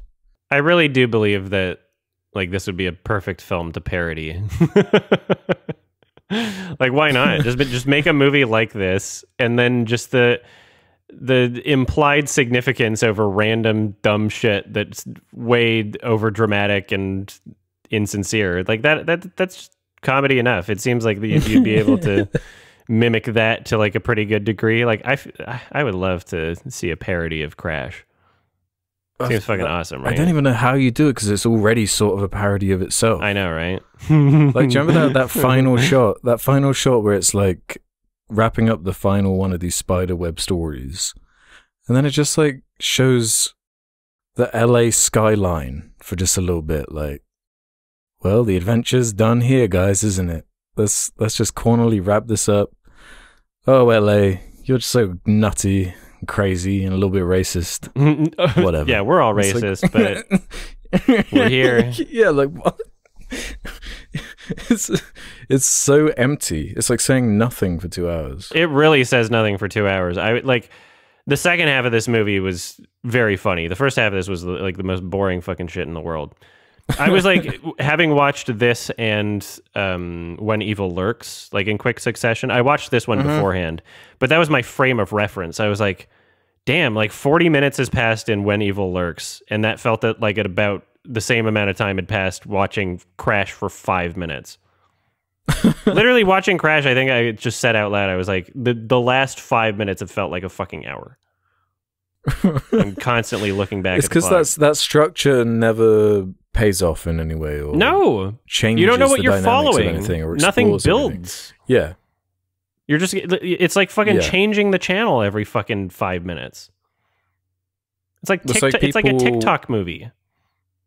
It's like move on to the next. Like, what are you gonna come back to that and build on it in any meaningful way? No. the expectation though is that they're they're almost doing that they're doing something like a memento or whatever. The way it's talked about makes it sound like that it's doing something with structure. Rashomon, like that, that important or whatever. Um, Pulp Fiction. no. Well, yeah, yeah, because this, I guess, this was from yeah, just a few years removed from these kind of revolutionary, uh, non-linear narratives, and maybe they, yeah, maybe it was all just whipped up in the hype of that groundswell of those types of films. Um, but this one does not age like those, that's for sure. No. Nothing really to learn from this movie except, I don't know, an, an easiest Oscar win ever, right? Yeah, it, it it pisses me. It would be less of a piss off for the best picture win if you we looked at the other nominations and we were like, yeah, you know, it wasn't a very strong year. Brokeback is the only one you need to look at. that Yeah. movie has aged fucking incredibly and is a really mm-hmm. great film. And we talked about it on the podcast. Um, Yeah. yeah. Easy answer Awesome episode. a fucking layup. You don't even have to think about it. No. Done. Right? So that, that makes it annoying. Who is going to be going to bat for this film over that? It's cr- it's actually crazy. Mark Kermode. Um, Let's ask him about it. yeah, clearly. This is- But like when you look at him justifying what what like inspired him to tell the story and whatnot, right? Writer and director Paul Haggis was inspired to make the film after being carjacked by two African American men at a blockbuster video on Wilshire Boulevard hmm. whilst driving home from the premiere of The Silence of the Lambs in February 1991. Afterwards, he began thinking more about the impact of race, ethnicity, and class in American society. Like, oh, cool. he got woke. Well, you didn't really do the best the best job of like exploring that. No, not at all.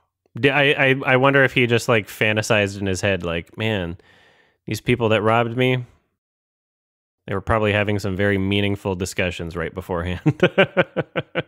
Yeah, they're probably going on a a fucking few hours, monologue. I'm sure. What, oh yeah, oh the monologues. That's that's most of what it is. It's these like, Ludacris character- these monologuing. I hate it. self-important characters. Like yeah, just monologuing and, and and speaking in ways that no human would ever speak to another human.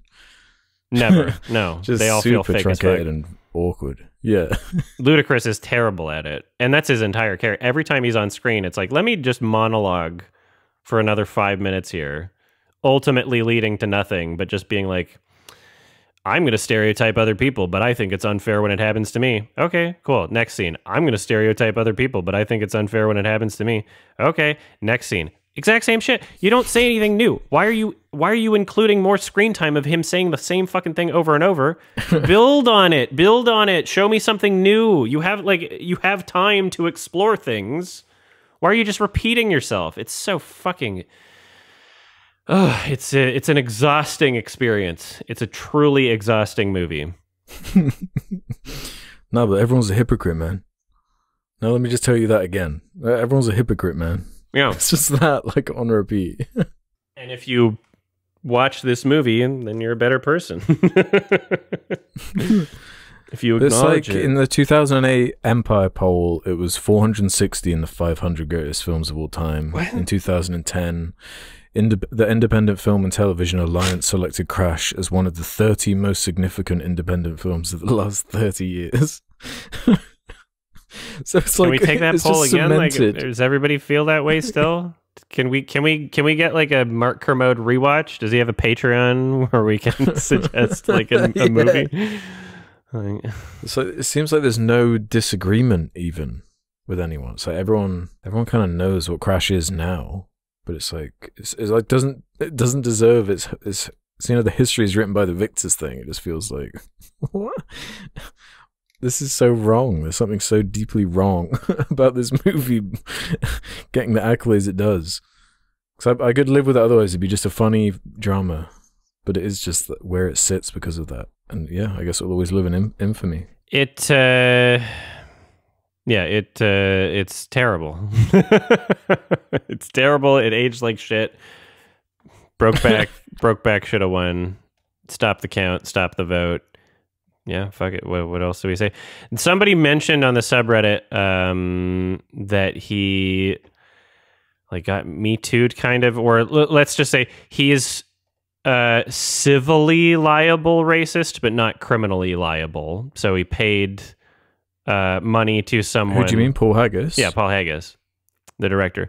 But but um he there are prominent anti-Scientologists, as in people who left Scientology, like Leah Remini, uh, who have speculated that this is just part of him leaving Scientology and that it might not be a real thing, even though he was found civilly liable but not criminally liable.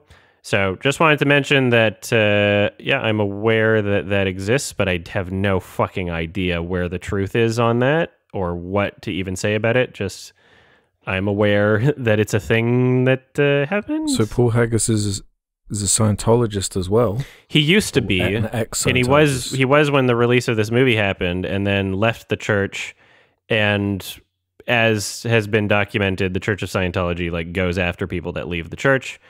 That might be irrelevant. hmm It might be like that. That has nothing to do with uh, the rape allegations. It might have something to do with it. We don't know. I don't know. I wasn't there. I, absolutely no clue. But that's the that's the consensus is that it could be or it could not be. I don't know. Oh yeah, there are a few articles from November 2022 about this. hmm I'd suggest reading those for more info. That sucks. hmm Yeah, I really want to watch Magnolia again, but I'm holding out for a 4K release or something that hopefully will happen. Right? Get on it, Warner Brothers. Who owns this shit? Yeah, imagine. Did you get the Crash 4K? oh no, I didn't. no, I downloaded it. I'm sure. I'm sure there's a Crash 4K, right? I don't know. Well, uh, two out of ten for that one. It's uh, terrible. it's terrible. Yeah, yeah. I was. I was pleasantly surprised by how it kind of lived up to its expectation of how, Infamy. like, sappy and badly written and saccharine and just kind of I don't know. It's it's condescending. it it seems like it it's something you'd put on when you're teaching like 12 year olds about racism, you know? I don't know if I would. I don't know. I, I, I don't know. Even then. they would come away with the wrong conclusions. yeah.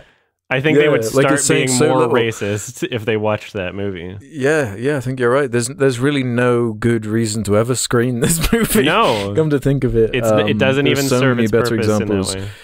Yeah, there's not a single great shot I remember, or line of dialogue, or Life lesson. scene of drama, life lesson. yeah, especially with what you're saying, it is all about that, right? Well, I suppose there are a couple scenes I remember thinking, yeah, the blocking of that was fine. There's some kind of interesting camera work, but it's in service of this like just atrocious monologue dialogue that does feel preachy. That does feel like you're acting like you're saying something, but when you sit down to actually think about these conclusions, like, wait, oh, you're really just saying a whole lot of nothing with this. Yeah, big, big fat uh, one out of ten. yeah, Or damn. one out of five. Yeah.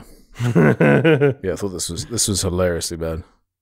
yeah, nothing mattered, and it it reeked of pretentious self-importance and insistence. Um, Yeah. that it just did not live up to in any meaningful way. Terrible writing, terrible music, terrible directing, fucking lot of bad acting. Yeah, pretty much on every level, it's uh, absolute disaster. It's Jesus Christ. Best picture, best picture, best picture winner. Best Four stars. Roger Ebert. Four stars. That almost annoys the writing one specifically almost annoys me more just on like principle. It's like, come on, why? Hmm. I suppose you could do that with all editing as well. It's like all of these wins are just so confusing. So like how Oh. could, how could you watch these movies and come away with that- I, I what's really funny, I just noticed another terrible editing thing they did a bunch of times in the movie that also makes it feel incredibly dated to 2004.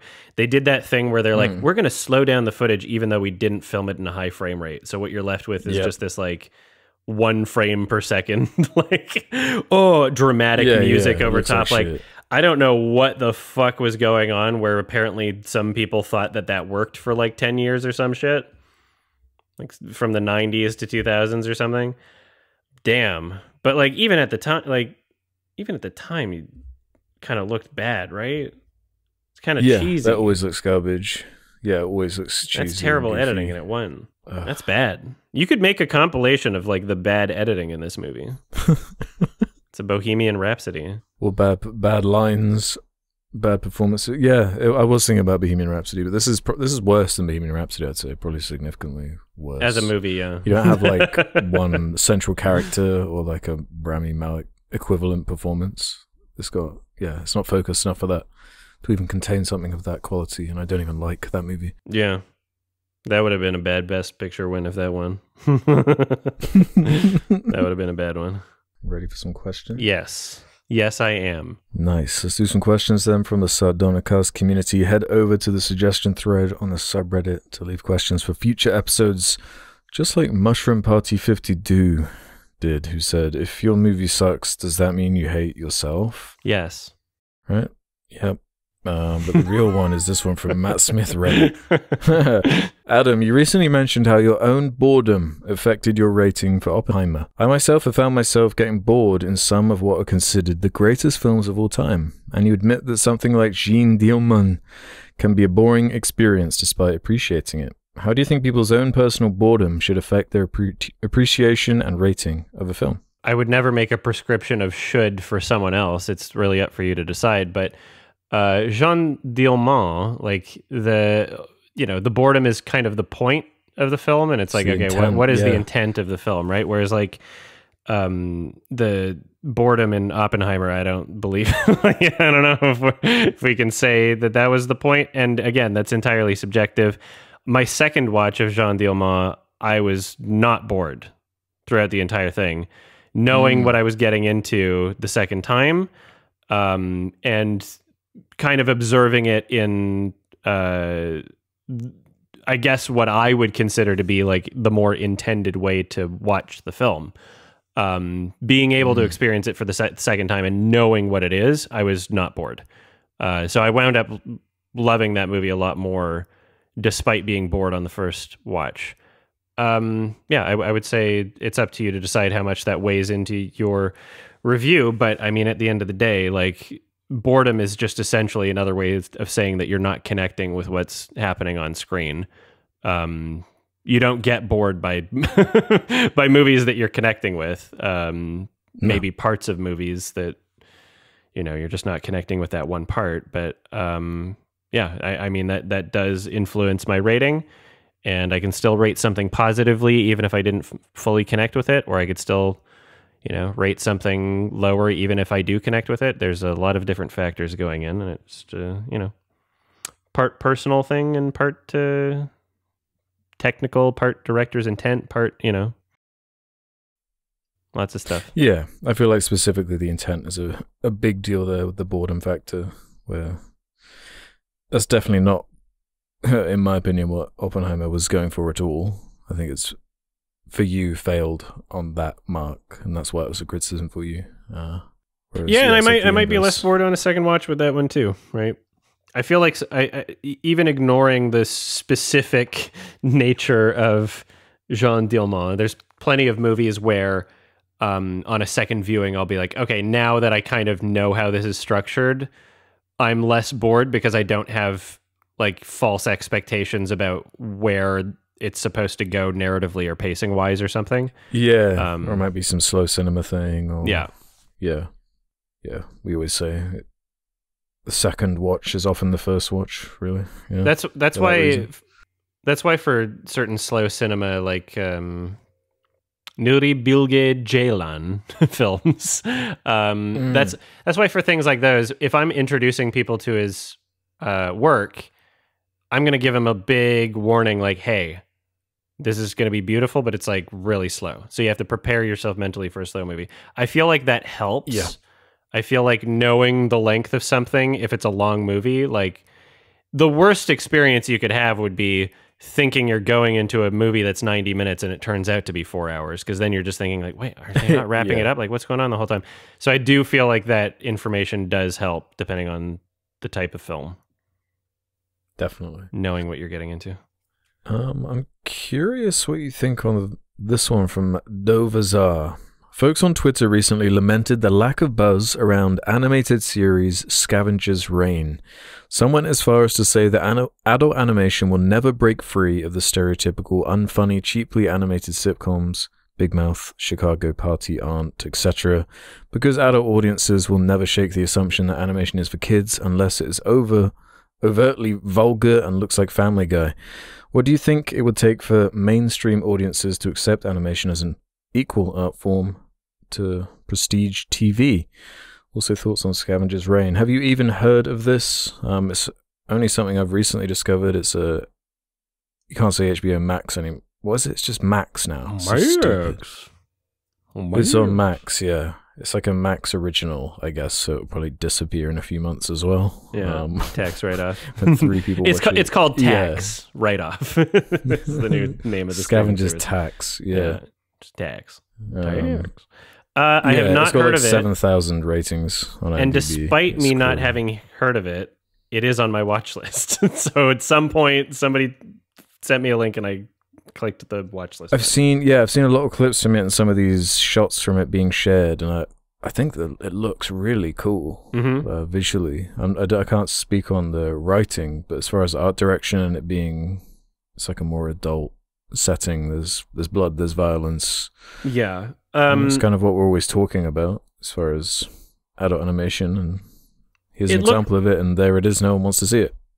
Well, it. it. here here's the thing. It looks cool. I don't know if I don't know if I agree with the premise that you know people decided not to watch it because of those uh, stigma against adult animation.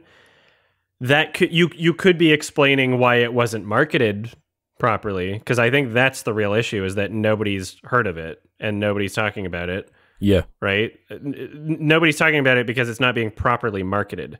So if you want to if you want to explain that away as like, oh, fucking David Zaslav or whoever's making the decisions at Max in order to promote it and you know, maybe even on their own platform, it would help if it was just on the front page because we have other examples of animation for adults that exist that are pretty successful. Uh, Netflix's uh, Love, Death, and Robots is an example. A lot of it's computer animations. I think some of it's 2D animation as well. It's anthology Or, kind um, of, but it's a, it's adult animation. Cyberpunk. Yeah, Cyberpunk cyberpunk. But the difference is that. Netflix promotes the shit out of those things. When they release it, it's on the front page and you can see that it's a thing that exists.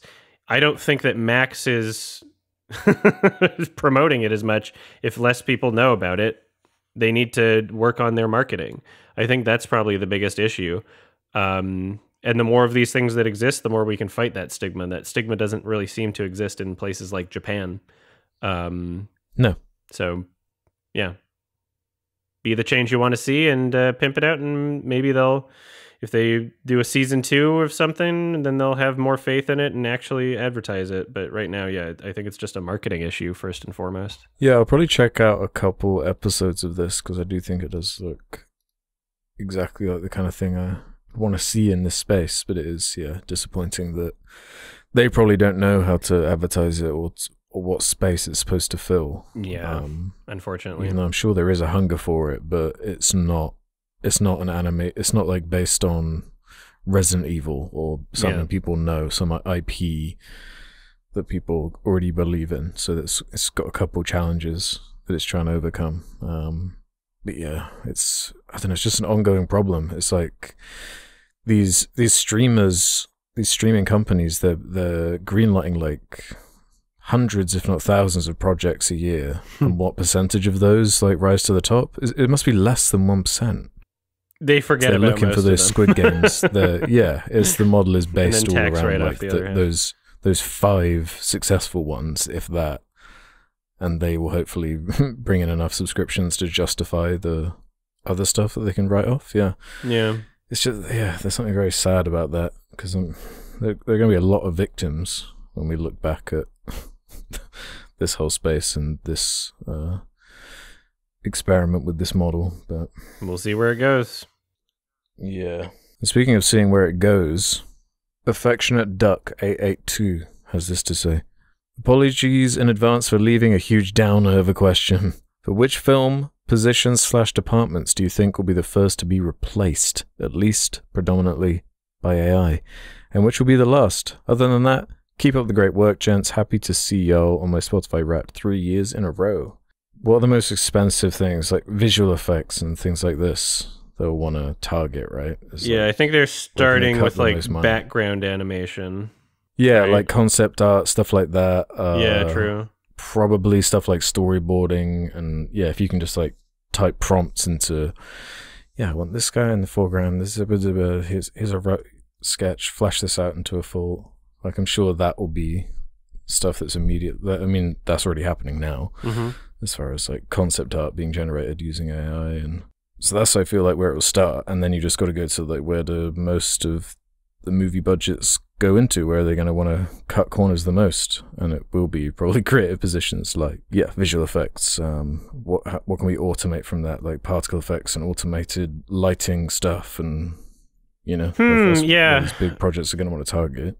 I'm curious about music and score because a lot of these, a lot of films that come out Mm, right now feels like they might as well be auto generated. they already So, sound it yeah yeah, right. When you're it's like, saying that oh, writers though too the two characters are with each other, and, they- and then it's just like, oh, you do the high piano sound when the tear comes out. Uh, like, things are already so fucking formulated already that it's like, I I support real artists that are actually trying to say things, not saying that people shouldn't have jobs if they're making bad art, I guess, but like.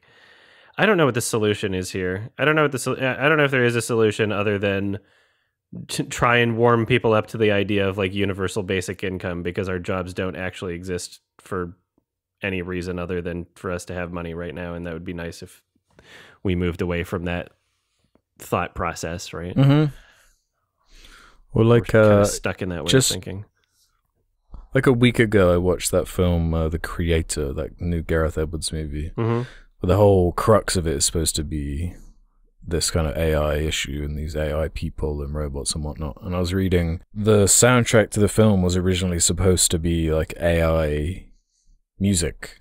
Um, and they they got Why it not? working, and they were like happy with where it is, and they were like, "Yeah, like it's thematic, right?" But they scrapped it at a certain point and got Hans Zimmer in to do Oh. the score. and, and as you were just saying, like it might as well have been an AI generated Zimmer score. That's there was like funny. nothing about it That's great. um, that made it stand out. But yeah, I think it will be. St- I mean, it, it's unpredictable the the like sectors it's been targeting first. Like, I don't think anyone really anticipated it to infiltrate the artistic, creative stuff like first. That's like where it's going first. Is the audio, the visual, the like. You open Adobe Premiere and it's like we're working on ways we can just edit your videos for you. Isn't that cool? yeah, that's interesting. I mean, like, here's the thing: if if whatever AI editing takes place is something that you can still like manually change and uh, adjust, I think it would be cool if you could train an AI on your own editing style. Because right now, I think what exists is like, oh, if you want your video to be like the mo- most formulated TikTok whatever, then you can just content farm your way into Yeah. making soulless content. It would be interesting if if like you could train an AI on your own editing style in the sense that like, oh, you actually want your style to exist, but you just, you know, there is a formula to it and we don't need you know, to fucking destroy your wrists doing it. That'd be interesting. Yeah, but then it kind of gets into the the Kwebbelkop conundrum. Where it's like, like, is it good to automate parts of your work so you can make more of it, or is the making it the actual expression? I wanted to have this Um, conversation with you for a while. I don't know what like your whole what your whole perspective is on Kwebbelkop, but he's like so obviously rage baiting. He's just like he's you know he's fallen off in terms of relevancy. He makes like fucking Minecraft content or whatever. His views going down. And, yeah, I know, but like his views going down, and now he's just like, oh, but it's AI. and here's the thing: people have such a um, like an uninformed and just kind of knee jerk reaction to what AI even is that he's able to Mhm. pretend as if his videos are AI when sure there's AI generated elements to the to the videos but it's not completely AI generated obviously someone is playing the game and then he's just using AI software to take an existing playthrough that he's either paying someone else to do or that he's doing himself and then just overlaying just to get clicks. And then the AI is is mimicking that with the face visual and then also mimicking his voice. So I, I what I believe he's doing is just like, oh, he's gotten someone else to just or maybe even himself to just do the one pass through of the the game doing a regular playthrough, you know, doing a Mhm. regular edit and then just adding AI elements to it. It's not like it's not like the AI is playing the game and like placing blocks and No, like no, no. reacting to things. I don't know. It's kind of weird and funny. Uh, we are so far behind where AI could realistically do the things that Kwebbelkop is claiming to be doing. that people are just kind of getting worked up over, over nothing for no reason, and he just wants attention, and we're all just giving it to him. Is essentially what's happening. Because you had that whole, it was like that Twitter uh, publicity stunt, I guess you Yeah. could call it. I'm was, like, done. trying to trick people. but now it's the Yeah. Model 2.0. Actually, you're stupid. When yeah, it was pretty. I don't know. It was pretty obvious through the video that it was like a creepy AI version of Quebble. But hmm yeah, I don't know. It's like, what is he trying to fundraise or just farm engagement anger? It's it's literally uh, just about getting attention. But it's like so pathetic. Yeah. So so needless. Like, I mean, has he really got nothing else he could do with his time, with his resources? It seems like his he like- main goal is to get attention, and it has been for a while. I guess yeah, I just can't understand. Well, I guess some people are just fine being branded like a bad guy as long as they're getting eyes, right? Some people, the attention It's is the end goal, and nothing else matters. Yeah, yeah, I can see it through that lens. It's just like why? Like even people who consider themselves Quibble fans like are turned off by it. People are que- there's Quibble it's fans. crazy. it, sounds crazy, but there are. If you like go on the the AI videos and they're like, "Man, you changed Quibble, man. You used to used to play GTA real good. Yeah. Can't even Yeah, it's anymore." probably man." some people that watched them when they were like six years old that haven't even touched his content for the last ten years, are now just commenting back on it, being like, "I this is not what I remember."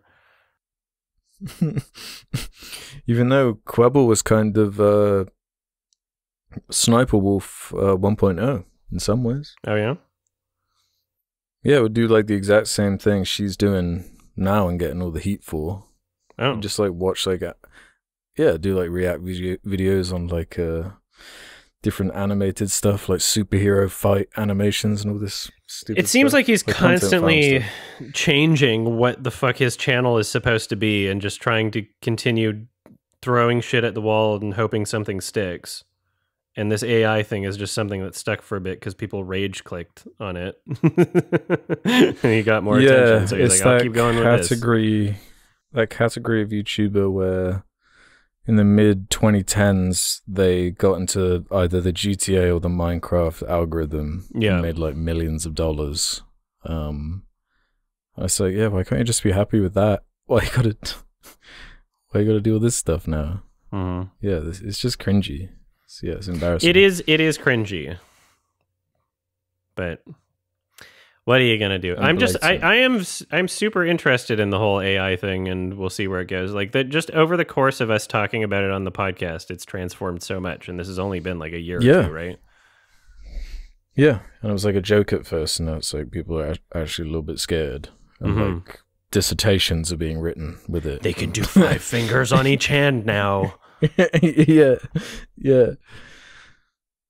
I'm yeah, I'm just not sold yet if it's gonna if it's gonna solve or change anything to do with maybe writing of a certain level. Like it might improve like maybe Hollywood writing on like blockbusters. Like it might genuinely make it better with some of it. Maybe. um, but I don't know how you could have it fill these kind of more uh creative roles quite Yeah. yet. Uh, Everything that I enjoy about movies and every artist that I pay attention to and follow, it's not going to affect them first. They're going to be safe for a while. Uh, they're- We're No, not, we're not making way, AI like- Charlie Kaufman movies for a while. if We did we did get a Harmony Korine AI, but that's about it. oh god.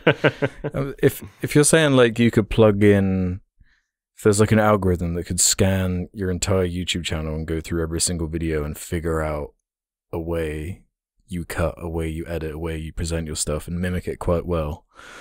What's to stop that same algorithm doing that with like a uh David Lynch, just go through his entire filmography and break down his style and then Sure. generate new Lynch. I would love to see an AI generated David Lynch movie. I think that would be interesting. like what is I, i'm i'm super interested in what the imperfections are in this technology and what uh the the the machine learning i don't know if the word thinks is appropriate but what what it thinks something is supposed to look like so i i'll subscribe to some of these subreddits like midjourney or whatever um and i'll just see Yeah. what other people are creating i don't really create a lot myself in terms of AI prompts. I find it confusing and just not worth my time. But a lot of other people are just Mhm. creating things and they'll they'll be like, okay, this is I want they'll get t- 12 different images for the prompt being something like uh, make a funny meme but the caption is sad.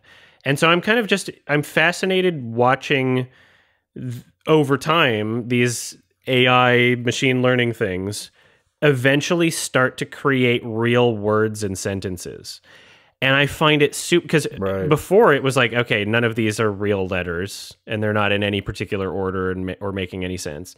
Now we're starting to see some, and like one of the one of the images was like a newspaper clip or something, and the title of the newspaper had s- said something about a man like swimming in beans, and then the image also had like beans in it. I'm like, okay, there's some consistency there. I Mm. find that interesting.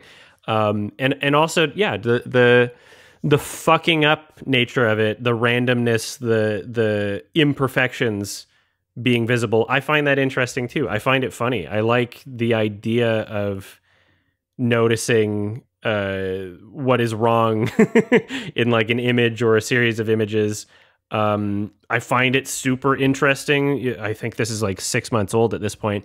Um, have you ever seen the AI generated like Will Smith eating spaghetti video? Yes. Yeah, like I find that super interesting. Yeah, it's terrifying, but thinking about like how a machine interprets the concept of like us eating and doesn't get the through line consistency of like oh yeah something needs to be in someone's hand and then go into their mouth and disappear but it's still figuring things out and just like what its interpretation of it is is just so obviously wrong for us but it's interesting it's interesting in which ways it's obviously wrong for us. It's interesting thinking about what certain aspects that it needs improvement on. For a while it was you know the number of fingers on each hand um and seeing it evolve over time. I like i, I like it. I think it's cool.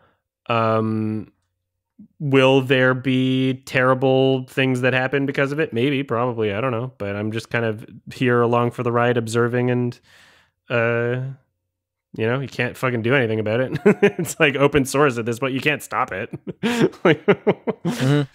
Yeah, it can't be stopped. It, it- it's too integrated into, especially money now. yeah Like it's it's already like infiltrated the stock market. Like it's made all these companies accrue all this extra wealth, and there's like this race for the best AI now. Like, oh my god, yeah wait, that that just happened, just in like a weekend.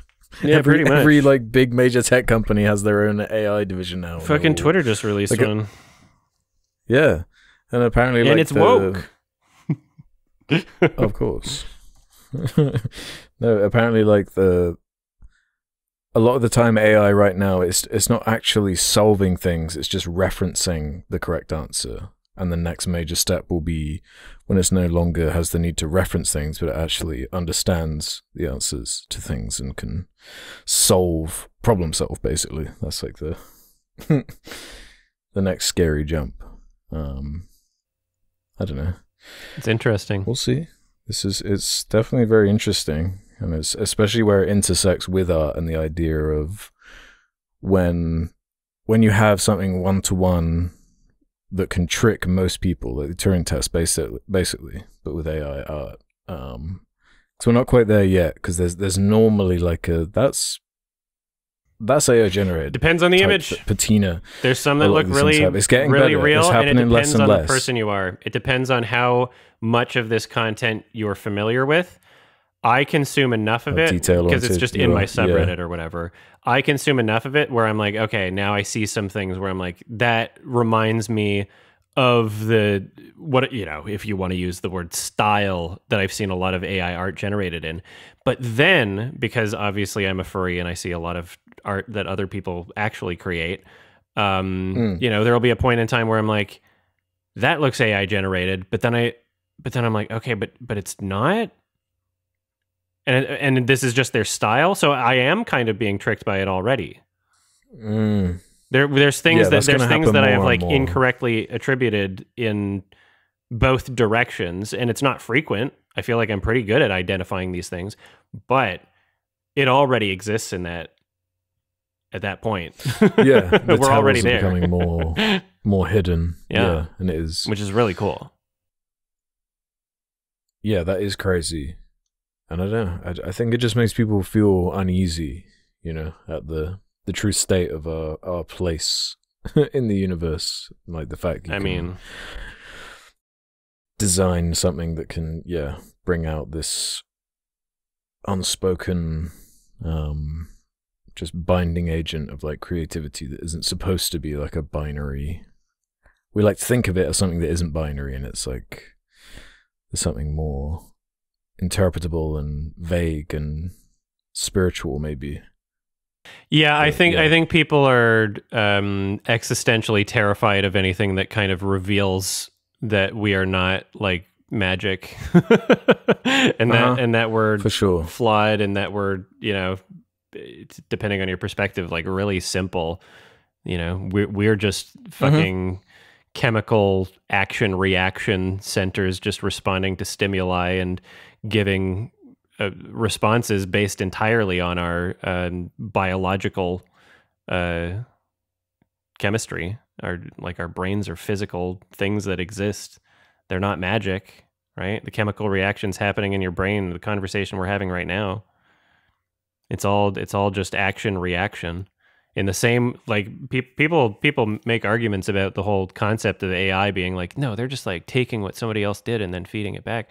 That's what human beings do. That's what humans beings do. It's doing it in a different way. It's Mhm. doing it in like a way that is very imperfect right now and maybe um you know we're tracing it in in a we're we're tracing it down to something that we can consider to be like less legitimate or like you know th- there's an entire moral conversation we should be having about it and i'm glad it's taking place but it, at the end of the day we're all we're all just feeding we're, we're all just being fed information and regurgitating it in some way you know? As long as you're not Mhm. like actually plagiarizing then great. Um make it yourself as in make it something that is true to you. Um but i mean as as we were saying like the the fucking music in crash is not it's not like like that that's that's something made by a human being but it's also just a regurgitation of everything else. You know i didn't even watch the the creator or whatever. Like you're saying hans zimmer's score sounds like it might as well have been ai generated. Like i think most people creating art are just kind of making bullshit and not something interesting and just kind of doing what other people have already done anyway. I think that's most art. Um, I obviously gravitate to things that do more than that. uh, yeah, I don't know where to go with this. Anyway, Yeah, there's yeah. These things are never normally made in a vacuum. Like it's if, if a human who's never been a part of any culture, who's just been Yeah. placed in a empty white room with no influence. Yeah, they're not even going to know where to begin. They're not going to exactly. have anything to build off. And that is like a human thing. And sure, it can be like a criticism um, when it's too overt. Like that, that's something I brought up with like the Joker or whatever, where it's like it seems overtly um, kind of referential or building off the bones of something that I prefer, and that's a problem for me. Um, Mhm. and That's distracting for me. Oh yeah. But then at the same time, I'll turn around Scorsese and yeah, exactly. Whereas I might turn around and watch, I don't know, the original Star Wars and forgive it for just being the Hidden Fortress or whatever, you know. Like hmm I'm sure with every film you can you can pinpoint like this inspiration comes from comes from here or this book or Yeah. this philosophy or whatever. Um yeah. Yeah, about, it's just does it justify. It being its own thing, or are you just rehashing something that already, you you know, we any new piece of art, the it should serve a purpose by existing and not just being like, oh, you just made this again, or you Be just more combined this and this but derivative, yeah. worse. You know, Uh-huh. Yeah. Crash is just worse Magnolia. well more. This one specifically for you that I was curious about from Go. Fat Gods. Adam has talked before about bad anthro character designs in movies. Space Jam 2 comes to mind. But I can't think of any anthro designs he specifically praised from a furry perspective aside from The Lion King. What other films have well designed anthro characters, and what makes them well designed?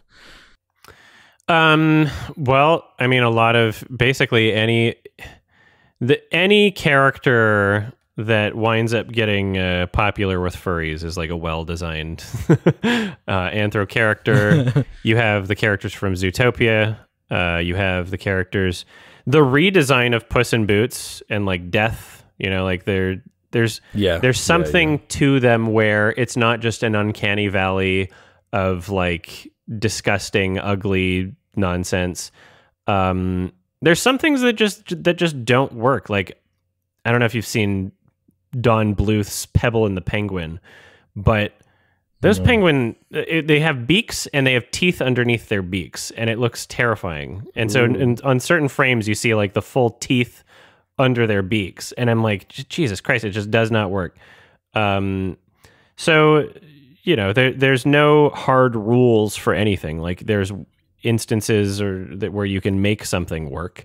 Um, but uh, yeah, at the end of the day, character character design, depending on what purpose you're grading it as, you can ask questions like: Is it a memorable character? Is it a distinct character design?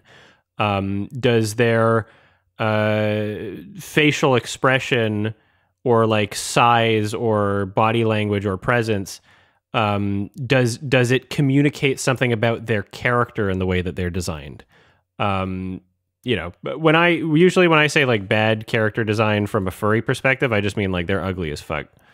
Um, which you know, most movies that have furry characters in it, you can't imagine that that's the goal. Um, you can't, Right. you know. So does that mean? Does that mean you've you've mentioned to me before that Madagascar is one of those Unfuckable. Movies? they are unfuckable mean- characters. but if they if it's a Except furry Bryan Cranston. creator movie, then how does it? Does that not mean they're well designed characters? If it's doing that, if it's working, If it's working in what way for who?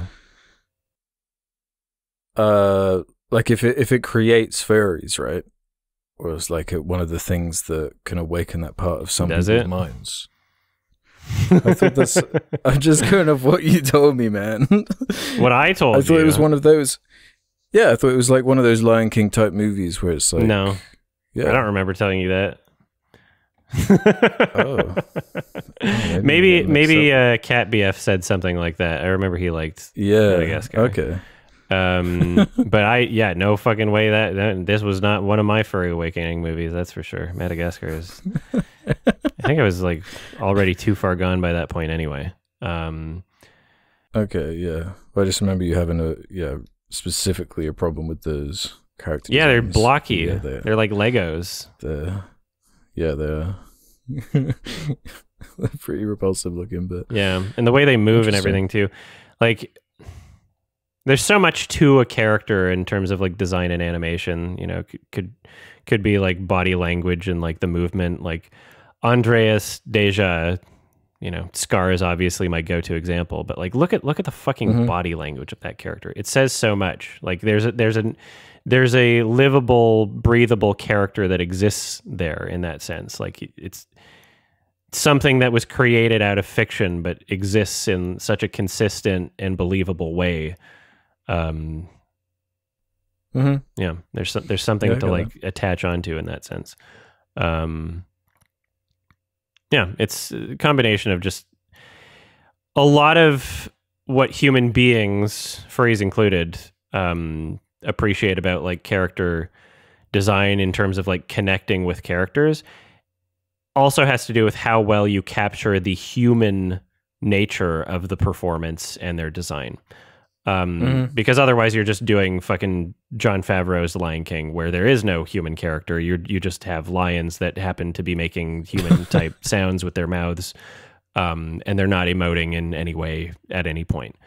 Um, but if you capture the Yeah. human, you know, the human nature of of these performances, you know, eyebrows are like a big thing for uh, anthro animal animation, and you know, what is their mouth doing? How do they react? You know, like eh, tons, tons that goes into these intricacies, and the most talented animators are hyper aware of all of the details that you could possibly include about a performance and a design. So I'm not going to pretend to be an expert because I haven't studied personally. I have not studied the 12 principles of animation. So I guess my point here, my points here are all invalid. I can't say anything. So, um, yeah, otherwise, uh, Interesting. Yeah, a lot going Yeah, into it. interesting perspective. No, no one answer, but there's many, Mhm. many working parts that are not necessarily, uh, blanket, uh, solutions for every Yeah, problem. Hmm. All right. We did it. nice. We did it.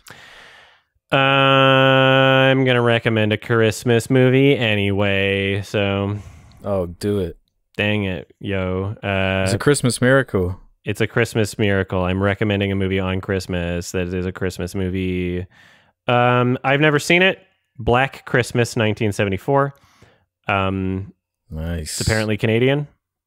Uh, it's apparently, Nice. allegedly, maybe I'm making shit up, but I was told that it was like considered to be like the first slasher movie. So like I get, or maybe like popularized. I don't know. It, it seems to be. It seems to have a very important uh, place in the genre in terms of its history. That'll be interesting. Um, hopefully, I enjoy it. Hopefully, I find it good. I'm also going to watch the two remakes, which are supposed to be horrendous. not so. and yeah, so th- th- th- this will be fun, I think. So if you want to watch the two remakes, go for it because that's what I'm going to do. But they're all an unexpected trilogy. Okay. yeah, they're all 90 minutes. They're not like the longest movies, and you know we got a couple weeks before the next recording. Nice so. Get ready for a Black Christmas. So yeah, if you if you haven't seen Black Christmases times three, watch them before the next movie come or so the next episode comes out. These podcast episodes come out every two weeks. You can listen to them early by going to sardonicast.com, signing up for premium. It's only $2 a month. You can download the episodes. You feel good about yourself. You can also go to patreon.com slash sardonicast. That's patreon.com slash sardonicast. I kind of flubbed the way I said it. Um, you'll get the episodes early there too. If you like Patreon, you can do that. Um, we also got merch link in the description. I've I've been talking a bunch about uh, you know memeing about getting Sardonicast merch for your grandma. Somebody actually fucking oh did it. Oh my god. It happened. It's I saw this post and I was blown away and I was It's a great. They a took a Christmas picture cry. with their grandma wearing Sardonicast merch. I've got it. Both By- wearing. Both Bofa by Dab Sloth seven ten, and it's a perfect, perfect, lovely picture. You can see that she is the happiest that she possibly could be from the wonderful energy emanating from the Sardonicast hoodie that she's wearing. no, that's the real Christmas miracle right there. It, it it really is. It is the most epic Christmas that could have happened. and if you want your Christmas to be epic, which it's I guess already Christmas today when you're listening when it's public. Literally today. If you want it to be the most epic, just you can look your grandma dead in the eyes and be like, "Yo, I'm going to order us matching Sardonicast hoodies." And you show her the receipt. you say, "I'm sorry it's not here today." I'm sorry it's not here today, but you see that, that it's in shipping. It's going to be shipped at some point. And she'll go, Thank you, grandson or granddaughter or grand they, them. Thank you so much. Mm, like that was beautiful. All right. Thanks for listening, everybody. Have a um, happy, unspecified uh, religious dominant denomination Christmas uh, Have a day. winter time. Um, have a day of some sort and a happy Shrek. Uh, thanks for listening. Bye bye. Bye.